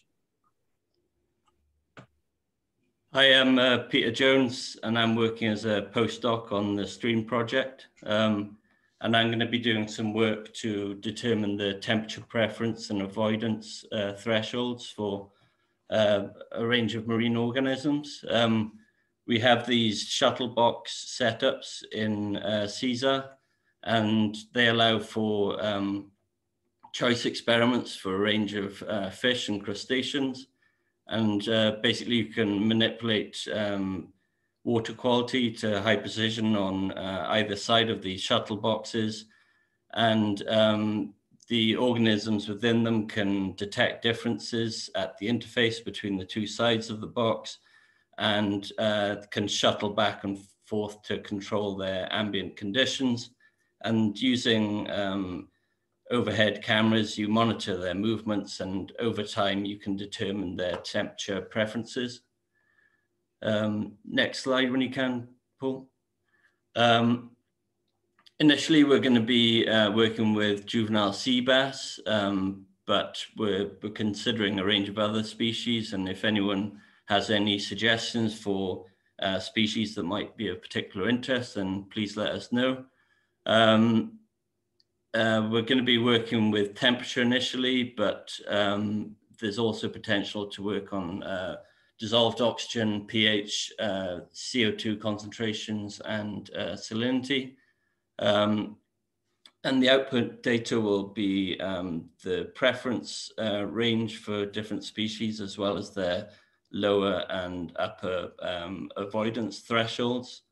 And um, this data should be useful for identifying areas with suitable water parameters for aquaculture, and also for predicting how um, habitat suitability and species distributions are likely to change uh, with respect to predicted uh, climate change. And that's where Josh's work comes in. So I'll pass you over to him. Thanks, Pete. Hi everyone, I'm Josh. I'm the other postdoc at CSAR. Uh, I know we've not got much time so I'll be brief. Um, essentially, uh, we will look at the um, so some of the impacts of climate change on uh, fisheries and aquaculture in the Irish Sea.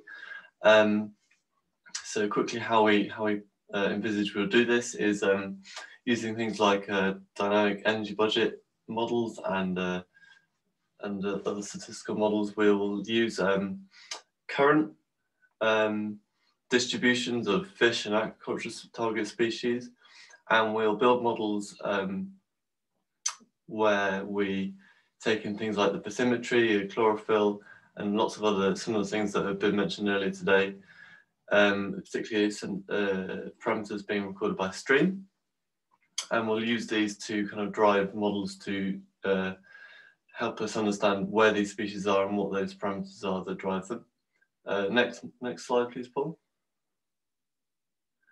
And what we'll then do is um, use those those predictions for um, for current distributions and take take uh, environmental data from from some time in the past, uh, as far back as we can get it, and then we use that to model uh, the current um, current population distributions uh, or suitability envelopes, uh, habitat envelopes for different species in fisheries and, and aquaculture and then we can see how that matches up with what we the data we have on these um, known distributions. So then we can get an idea of how good our models are. Um, and then we can apply that model that we've now validated to um, predictions in uh, changes in, in all the things like temperature and uh, salinity and any sorts of uh, chlorophyll distribution as well that might change with um, habitat uh, sorry, with climate change. Um, and then we can also calibrate these models um, with the mesocosm experiments that Peter was just talking about. Uh, next slide. So once, once we have this model um, that we validated on, on current distributions, uh, we can we can run all sorts of different um, the model on all sorts of different climate change scenarios. Um, so we can do something very similar to this this study that looked at Pacific oyster cultivation, um, and we can look at where there might be um, more opportunities for um, industry uh, inshore aquaculture or maybe even um, different places that haven't been uh, suitable before. Um, and hopefully with um, increased resolution uh, with lots of lots more of the, the, the cheaper printed sensors that STREAM's going to produce, we can get a, a higher resolution image of where um, there might be changes in site suitability and, and things going on in the future. Thank you. That's it. Thank you, uh, Paul, uh, Pete, and Josh. Thank you for the three of you and for having such a smooth transition in between speakers and for giving us a good insight about um, what's uh, happening in, in the Center for Sustainable Aquatic Research and uh, the capabilities the, that we have in terms of, of research in this area. We don't have questions and actually we are just uh, that I can, oh, and say, oh, I have something here. Uh, so many thanks for the fascinating talk. Uh, this is from Rod Wilson. I'm interested in what uh, um, CO2 carbon dioxide pressure sensors you use and how reliable you find them. I don't know if, if Pete, you can uh, answer this question or Paul. Uh, we I, am not using uh, carbon dioxide sensors apart from when we produce uh, microalgae within rooms. So we have uh, emergency alarm sensors for if carbon dioxide levels get too high. Uh, but it is something that we would like to look at because within the Picton Yard um, development that I mentioned, mm. they, they're looking at ways to recycle the waste carbon dioxide produced by the residents of the building in order to be pumped into the any of the greenhouses for, for plant growth at certain times of the day? Um, there, so there, there is potential to uh, to measure the CO2 in those shuttle tanks I was talking about. Um, I'm afraid I'm not a, a sensor expert, uh, but my understanding is that it's derived from uh, pH um, in those uh, that's the way of monitoring CO2 in those illegal shuttle tanks. Um, but I'll I'll look into it and get back to you if that's all right. Thank you, Pete. Uh, we are running a bit out of time. There is still one question there, but I'll let you answer that question uh, on that on the Q and A uh, chat box. So we're going to move, and thank you again. and We're going to move to the next speaker, um, uh, Gyopár Elekes, who's uh, coming from the company Faptic. Uh, thank you, Gyopár. She's going to present uh, reverse engineering, uh, machine vision solution for aquaculture. So whenever you're ready, thank you. Okay, hello. can you see my screen and do you hear me? You're good to go. We can see your screen and your camera. Thank you. Okay, thank you. So uh, firstly, I would thank the organizers for the opportunity to participate, uh, participate at this conference. Um, so I'm Gyopár Elekes and uh, I'm data scientist at the Faptic. Uh, so uh, needless to say that we live in the information age, so we should take advantage of these new technologies in order to easily solve previously difficult problems. So the Faptic uh, intends to apply machine vision and deep learning techniques to develop fish behavior analytical services and data for the global aquaculture industry. Uh, our launch product focuses on lumpfish, uh, which is used in the salmon farming sector. And in the course of time, uh, we um, intend to uh, add other uh, species and commercial applications to our product. Uh, given the opportunity to, by the Swansea University, um, we discovered some of the burning questions of the industry and we looked at the technical solutions to answer them. And in this presentation, uh, I will discuss two of the most interesting questions. And uh, I will try to trace back from the answer to the actual technical solution behind it. So uh, the first uh, question would be where did the fish go? And for that, we, um, we propose to represent it like a 3D graph uh, in which we can see uh, where the fish are swimming or where they stay inside the water volumes. And uh, this inspection can give some insight into fish behavior and represent the fish distribution in the water.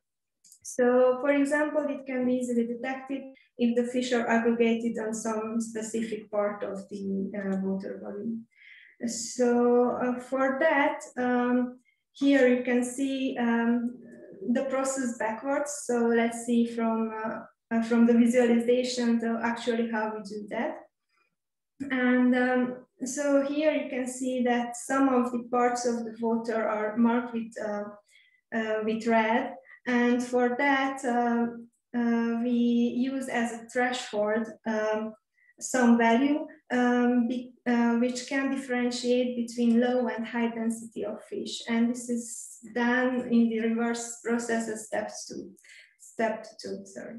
So, um, but also for to, um, to define these uh, densities, uh, we need to uh, inspect those regions over time and uh, averaging the number of fish in specific regions.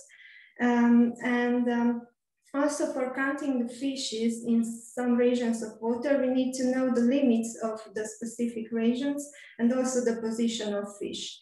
And uh, all these steps are based on the very last uh, uh, step in this solution, which is the most important, and is to have a detection algorithm uh, which can detect the lumpfish in the underwater video recordings. And how we do that? Um, so for detecting the fish, we use um, deep learning algorithms. And uh, as a result from these algorithms, we will know the position of the fish in, uh, in a 2D uh, position. And uh, in order to also know the fish position in 3D, um, we, uh, we make recordings by stereo, uh, stereoscopic cameras, uh, meaning that we have um, recordings from the same field of view from slightly different angles, and uh, it makes possible to reconstruct the scene in 3D. Um, okay, and to simplify the the final results and the presentation, we propose to um, to split this uh, entire water volume into subunits, let's say, and here you can see um, an example for that. And uh, as a result, each region can be identified by the coordinates of the eight corners of them, and by also knowing the position of the fish which was uh, previously uh, calculated, uh, we can easily number the uh, we, we can easily count the fish inside each of the regions and uh, we can use uh, those numbers in the final representation. Uh, so finally, um, we are making all those measurements over multiple time and we are averaging the numbers inside each uh, unit volume. And uh, at the, at the uh, end of the process, we can uh, choose some thresholds above what we can uh, we can highlight the regions which are crowded. Let's say where the uh, where the number of fish is higher. Okay, and uh, so let's talk about also about the um, the second questions. It is very specific to the lumpfish, uh, and uh, the lumpfish has the behavior named clinging uh, when uh, the fish is resting by being stick to flat surfaces. And um, uh, we want to uh, visualize this uh, behavior as a percentage compared to the swimming uh, fish and clinging fish. So for this, we also use the reverse approach. So in order to have this visualization about the proportion of fish swimming and uh, clinging, uh, we need to know the number, the actual number of those fish.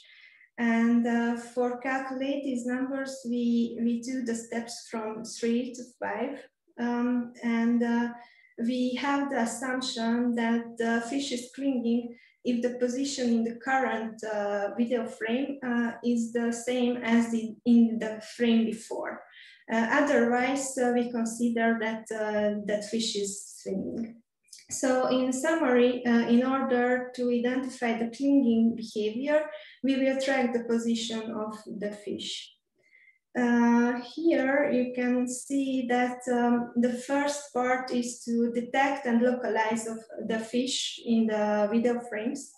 And uh, this gives us uh, a fish identification number and a bounding box around it. Um, so um, the location where the fish was detected. And this uh, information will be further used in our tracking algorithm. And um, here you can see uh, the whole process where the object is detected in frame number one, and uh, it will be represented as the centroid of the location where it was founded. And in the next steps, uh, in the next frame, we will use a predictor algorithm which, which can um, uh, predict the uh, new position of the fish based on where it was before. And we also use another algorithm to ensure that in the consecutive frames, we identify the same fish. And uh, from this algorithm, we will have the fish IDs and their positions uh, during the, the recordings. Okay, and um, so as I mentioned before, we assume that uh, when a fish has, uh, uh, when a fish didn't uh, change its position, that uh, means it is clinging. And otherwise, if the position was changed during these recordings, then the fish is clinging.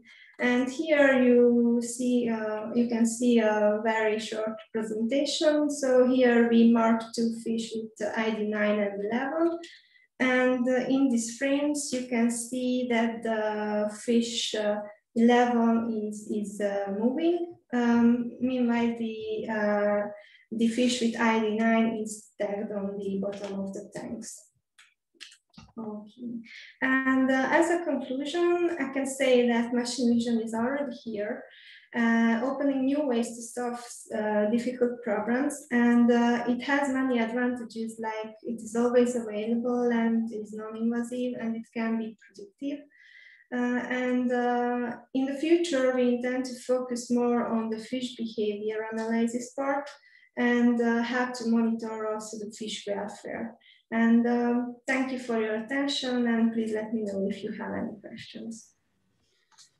Thank you. Thank you, Gyopár. That's uh, an interesting presentation. Um, I have a, a, question here. I just wanted to, to highlight that um, the images you show are in a tank environment, actually, in um, at the Center of Sustainable Aquatic Research.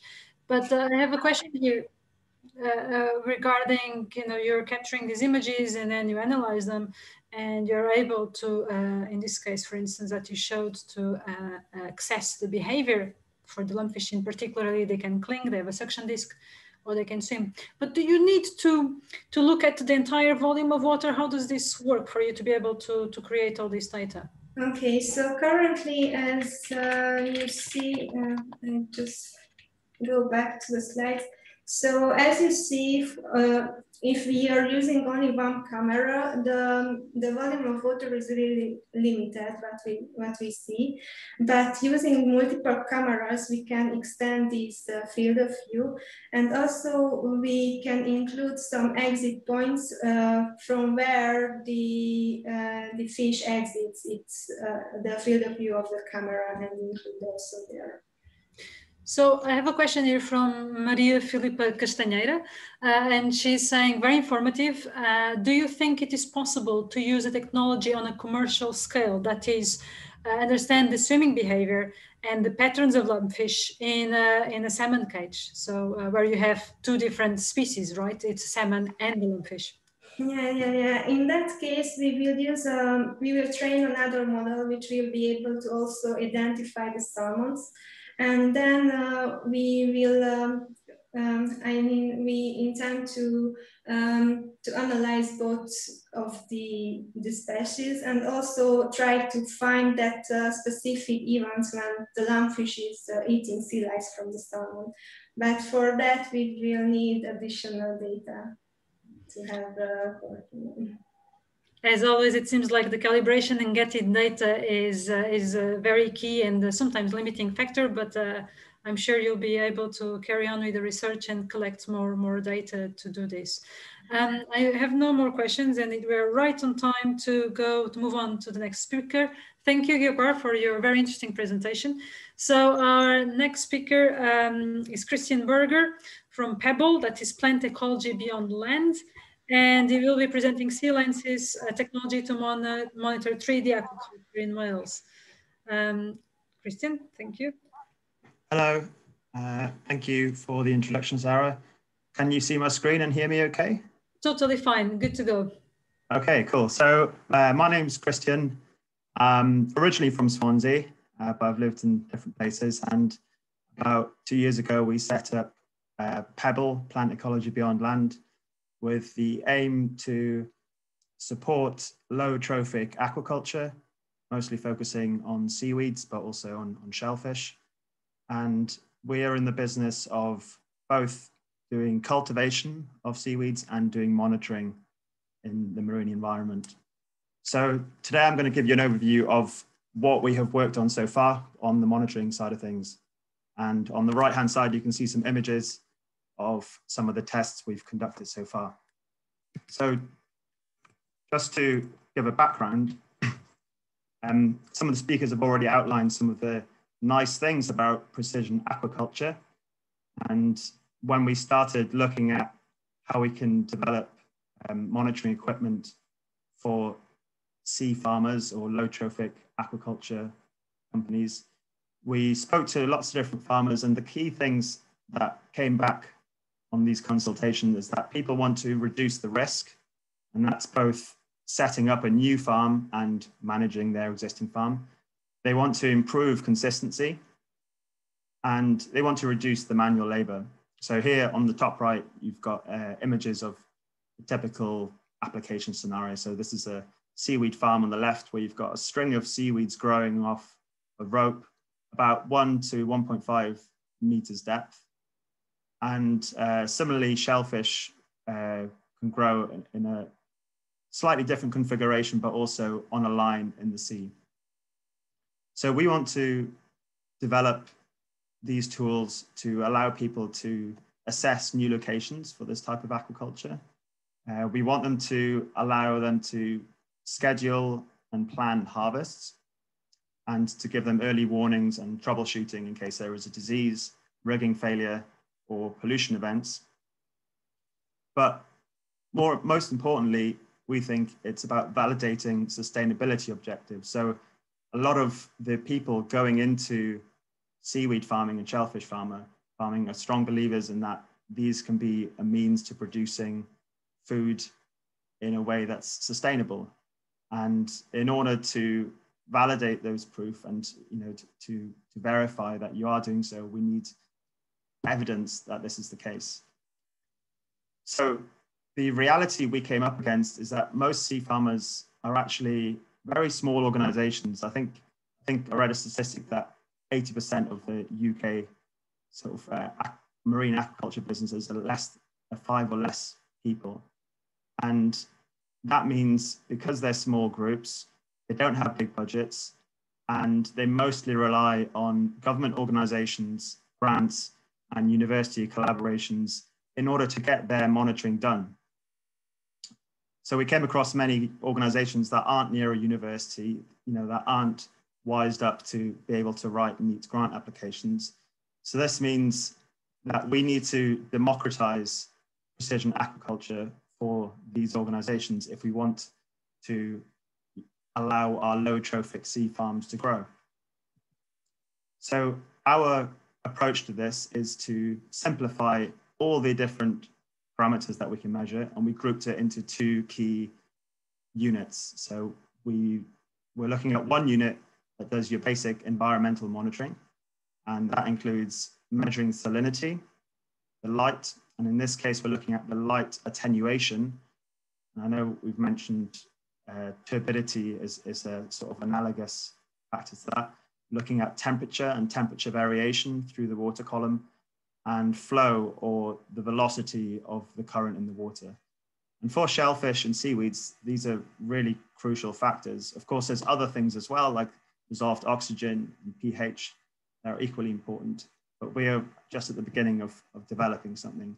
And the things we keep in mind here is we want to keep things as low cost as possible. We want to make them easy to use and we want them to be, in a sense, repairable and replaceable. So our current configuration is essentially a, a data buoy, which has a data capture and power unit on the surface.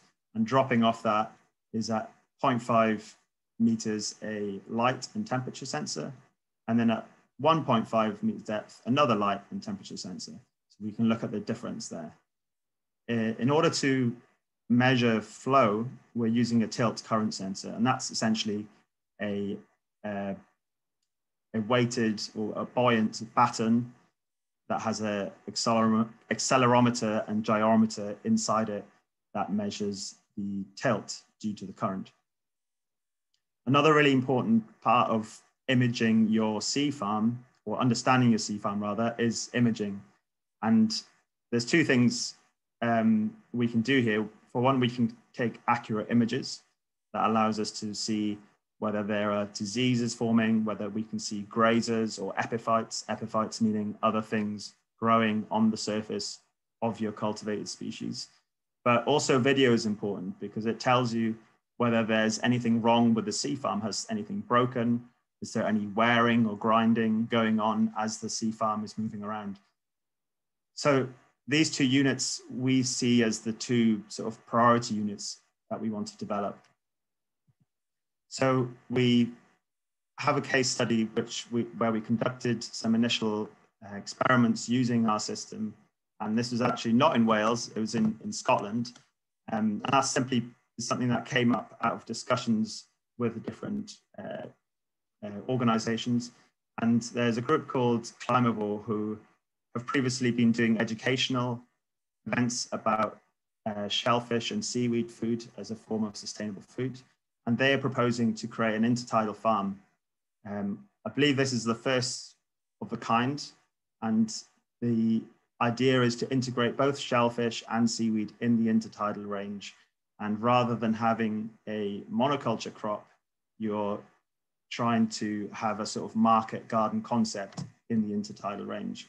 And this is quite, um, uh, I guess, suitable for the Scottish lochs because there are a huge number of lochs that have this really gradual intertidal range, which is, which is very sheltered. So we looked at three different sites um, and we characterized these. Uh, basically, the first site was a sheltered cove near a small stream. The second site was a semi-exposed bay facing south, uh, but near a hotel.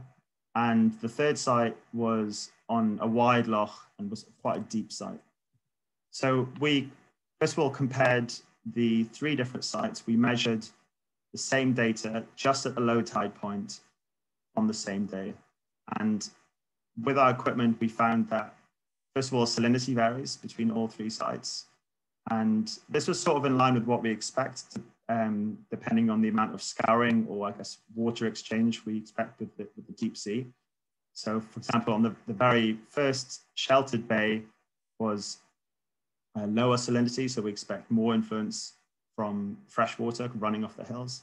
Interestingly, in the second site, we found a small spike in salinity round about lunchtime, and we we think we may be able to attribute this to the septic tank. So the hotel that's nearby is actually a, a really big hotel, and you can almost see a sort of milky, streaky liquid coming down from the bank next to the hotel. So that was something to note for assessing the site suitability. Um, and for light attenuation and current speed, those we found are actually correlating to some extent. So the light attenuation we're measuring across the three sites varied depending on how murky or how turbid the water was. And we clearly saw that the, the more exposed site, which was actually near sort of mud flat substrate, had a much more turbid substrate and therefore would, would affect which shellfish and seaweed you could grow. And this, uh, this hypothesis, I guess, was backed up by the current data So we measured a much higher current in site two and site three using our tilt meter. So in terms of concluding from this site suitability assessment, um, the community group decided that site two and site three are most suitable, although site three would be too turbid for some species to grow, um, especially some of the, uh, the kelps, which they hope to grow at the low tide mark, may not actually grow because there's too much turbidity. Um, obviously, there's a, some level of concern about site two because the, we discovered that there's, there's this uh, effect on the salinity due to the septic tank. We probably need more data to support that hypothesis and the scope to move further out of the bay to get away from the influence. But this is just to demonstrate that our initial prototype system was able to make some, give, give some value to this organization. So what are our next steps? So this first case study was just simply deploying the tools in the open uh, intertidal area. We now want to adapt these tools for sea farms. And there's a lot of questions about how you mount to a sea farm. Obviously, you don't want to damage any of the seaweed or the shellfish that are growing. And you want to ensure that you're not damaging the rope or the structure or the integrity of the farm.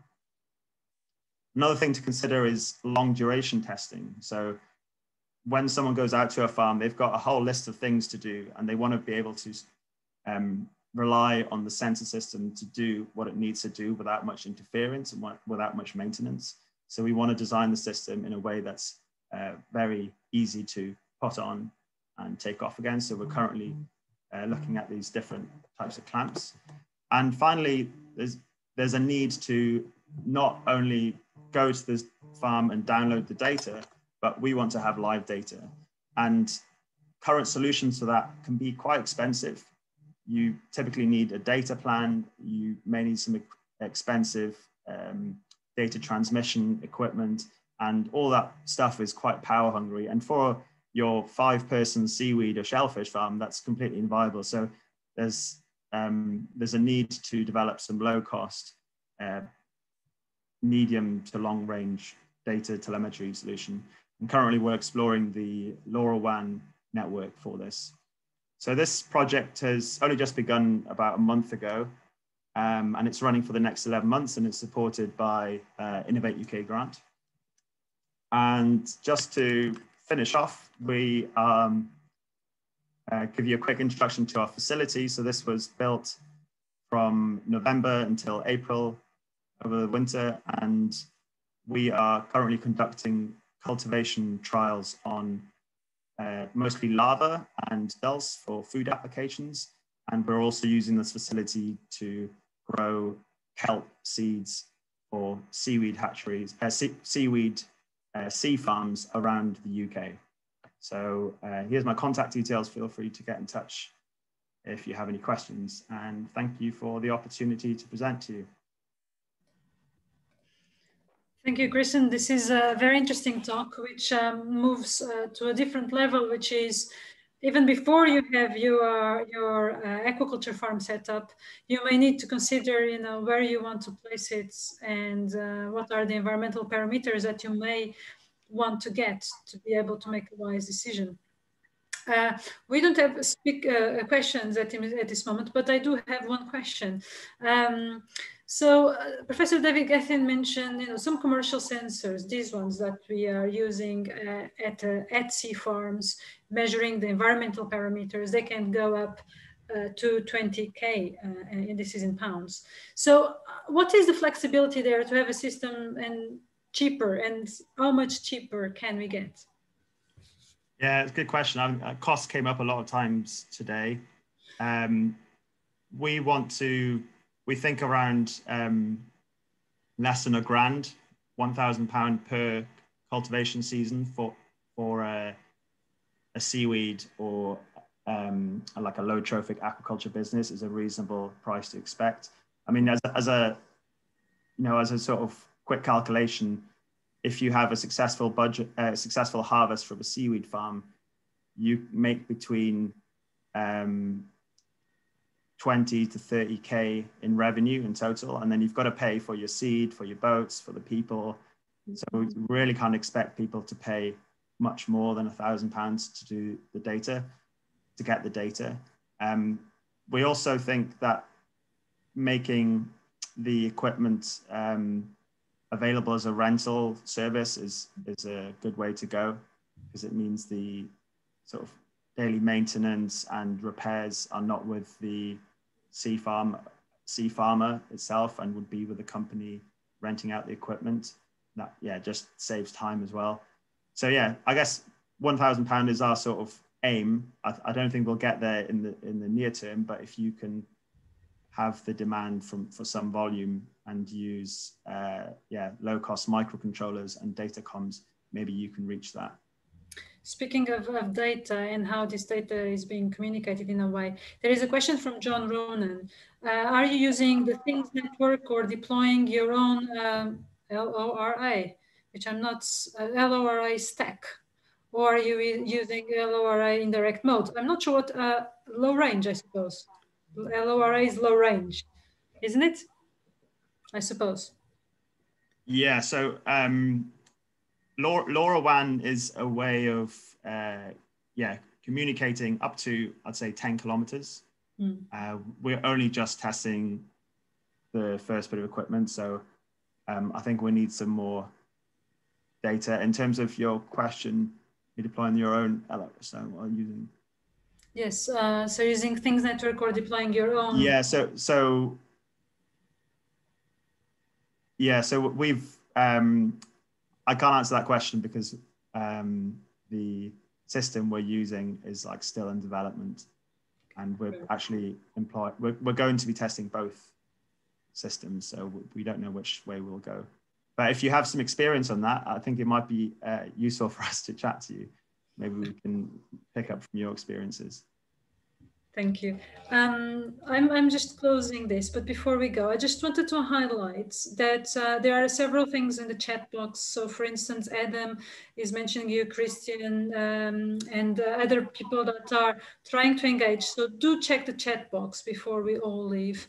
Um, and uh, if you have any questions, by all means, send us an email. I just want to share a few things with you today. We've had an amazing audience, and I really want to uh, also to really give a big thank you to, um, uh, to our speakers. Uh, I mean, you've, you've been uh, fantastic, you've made this possible. And I think by now we have a better understanding of, uh, of what is precision in aquaculture, what are the different projects and companies that are working in precision uh, aquaculture using sensors, uh, and what are the needs of the industry. We've seen, you know, shellfish in, in Ireland. Brian, thank you for, for that.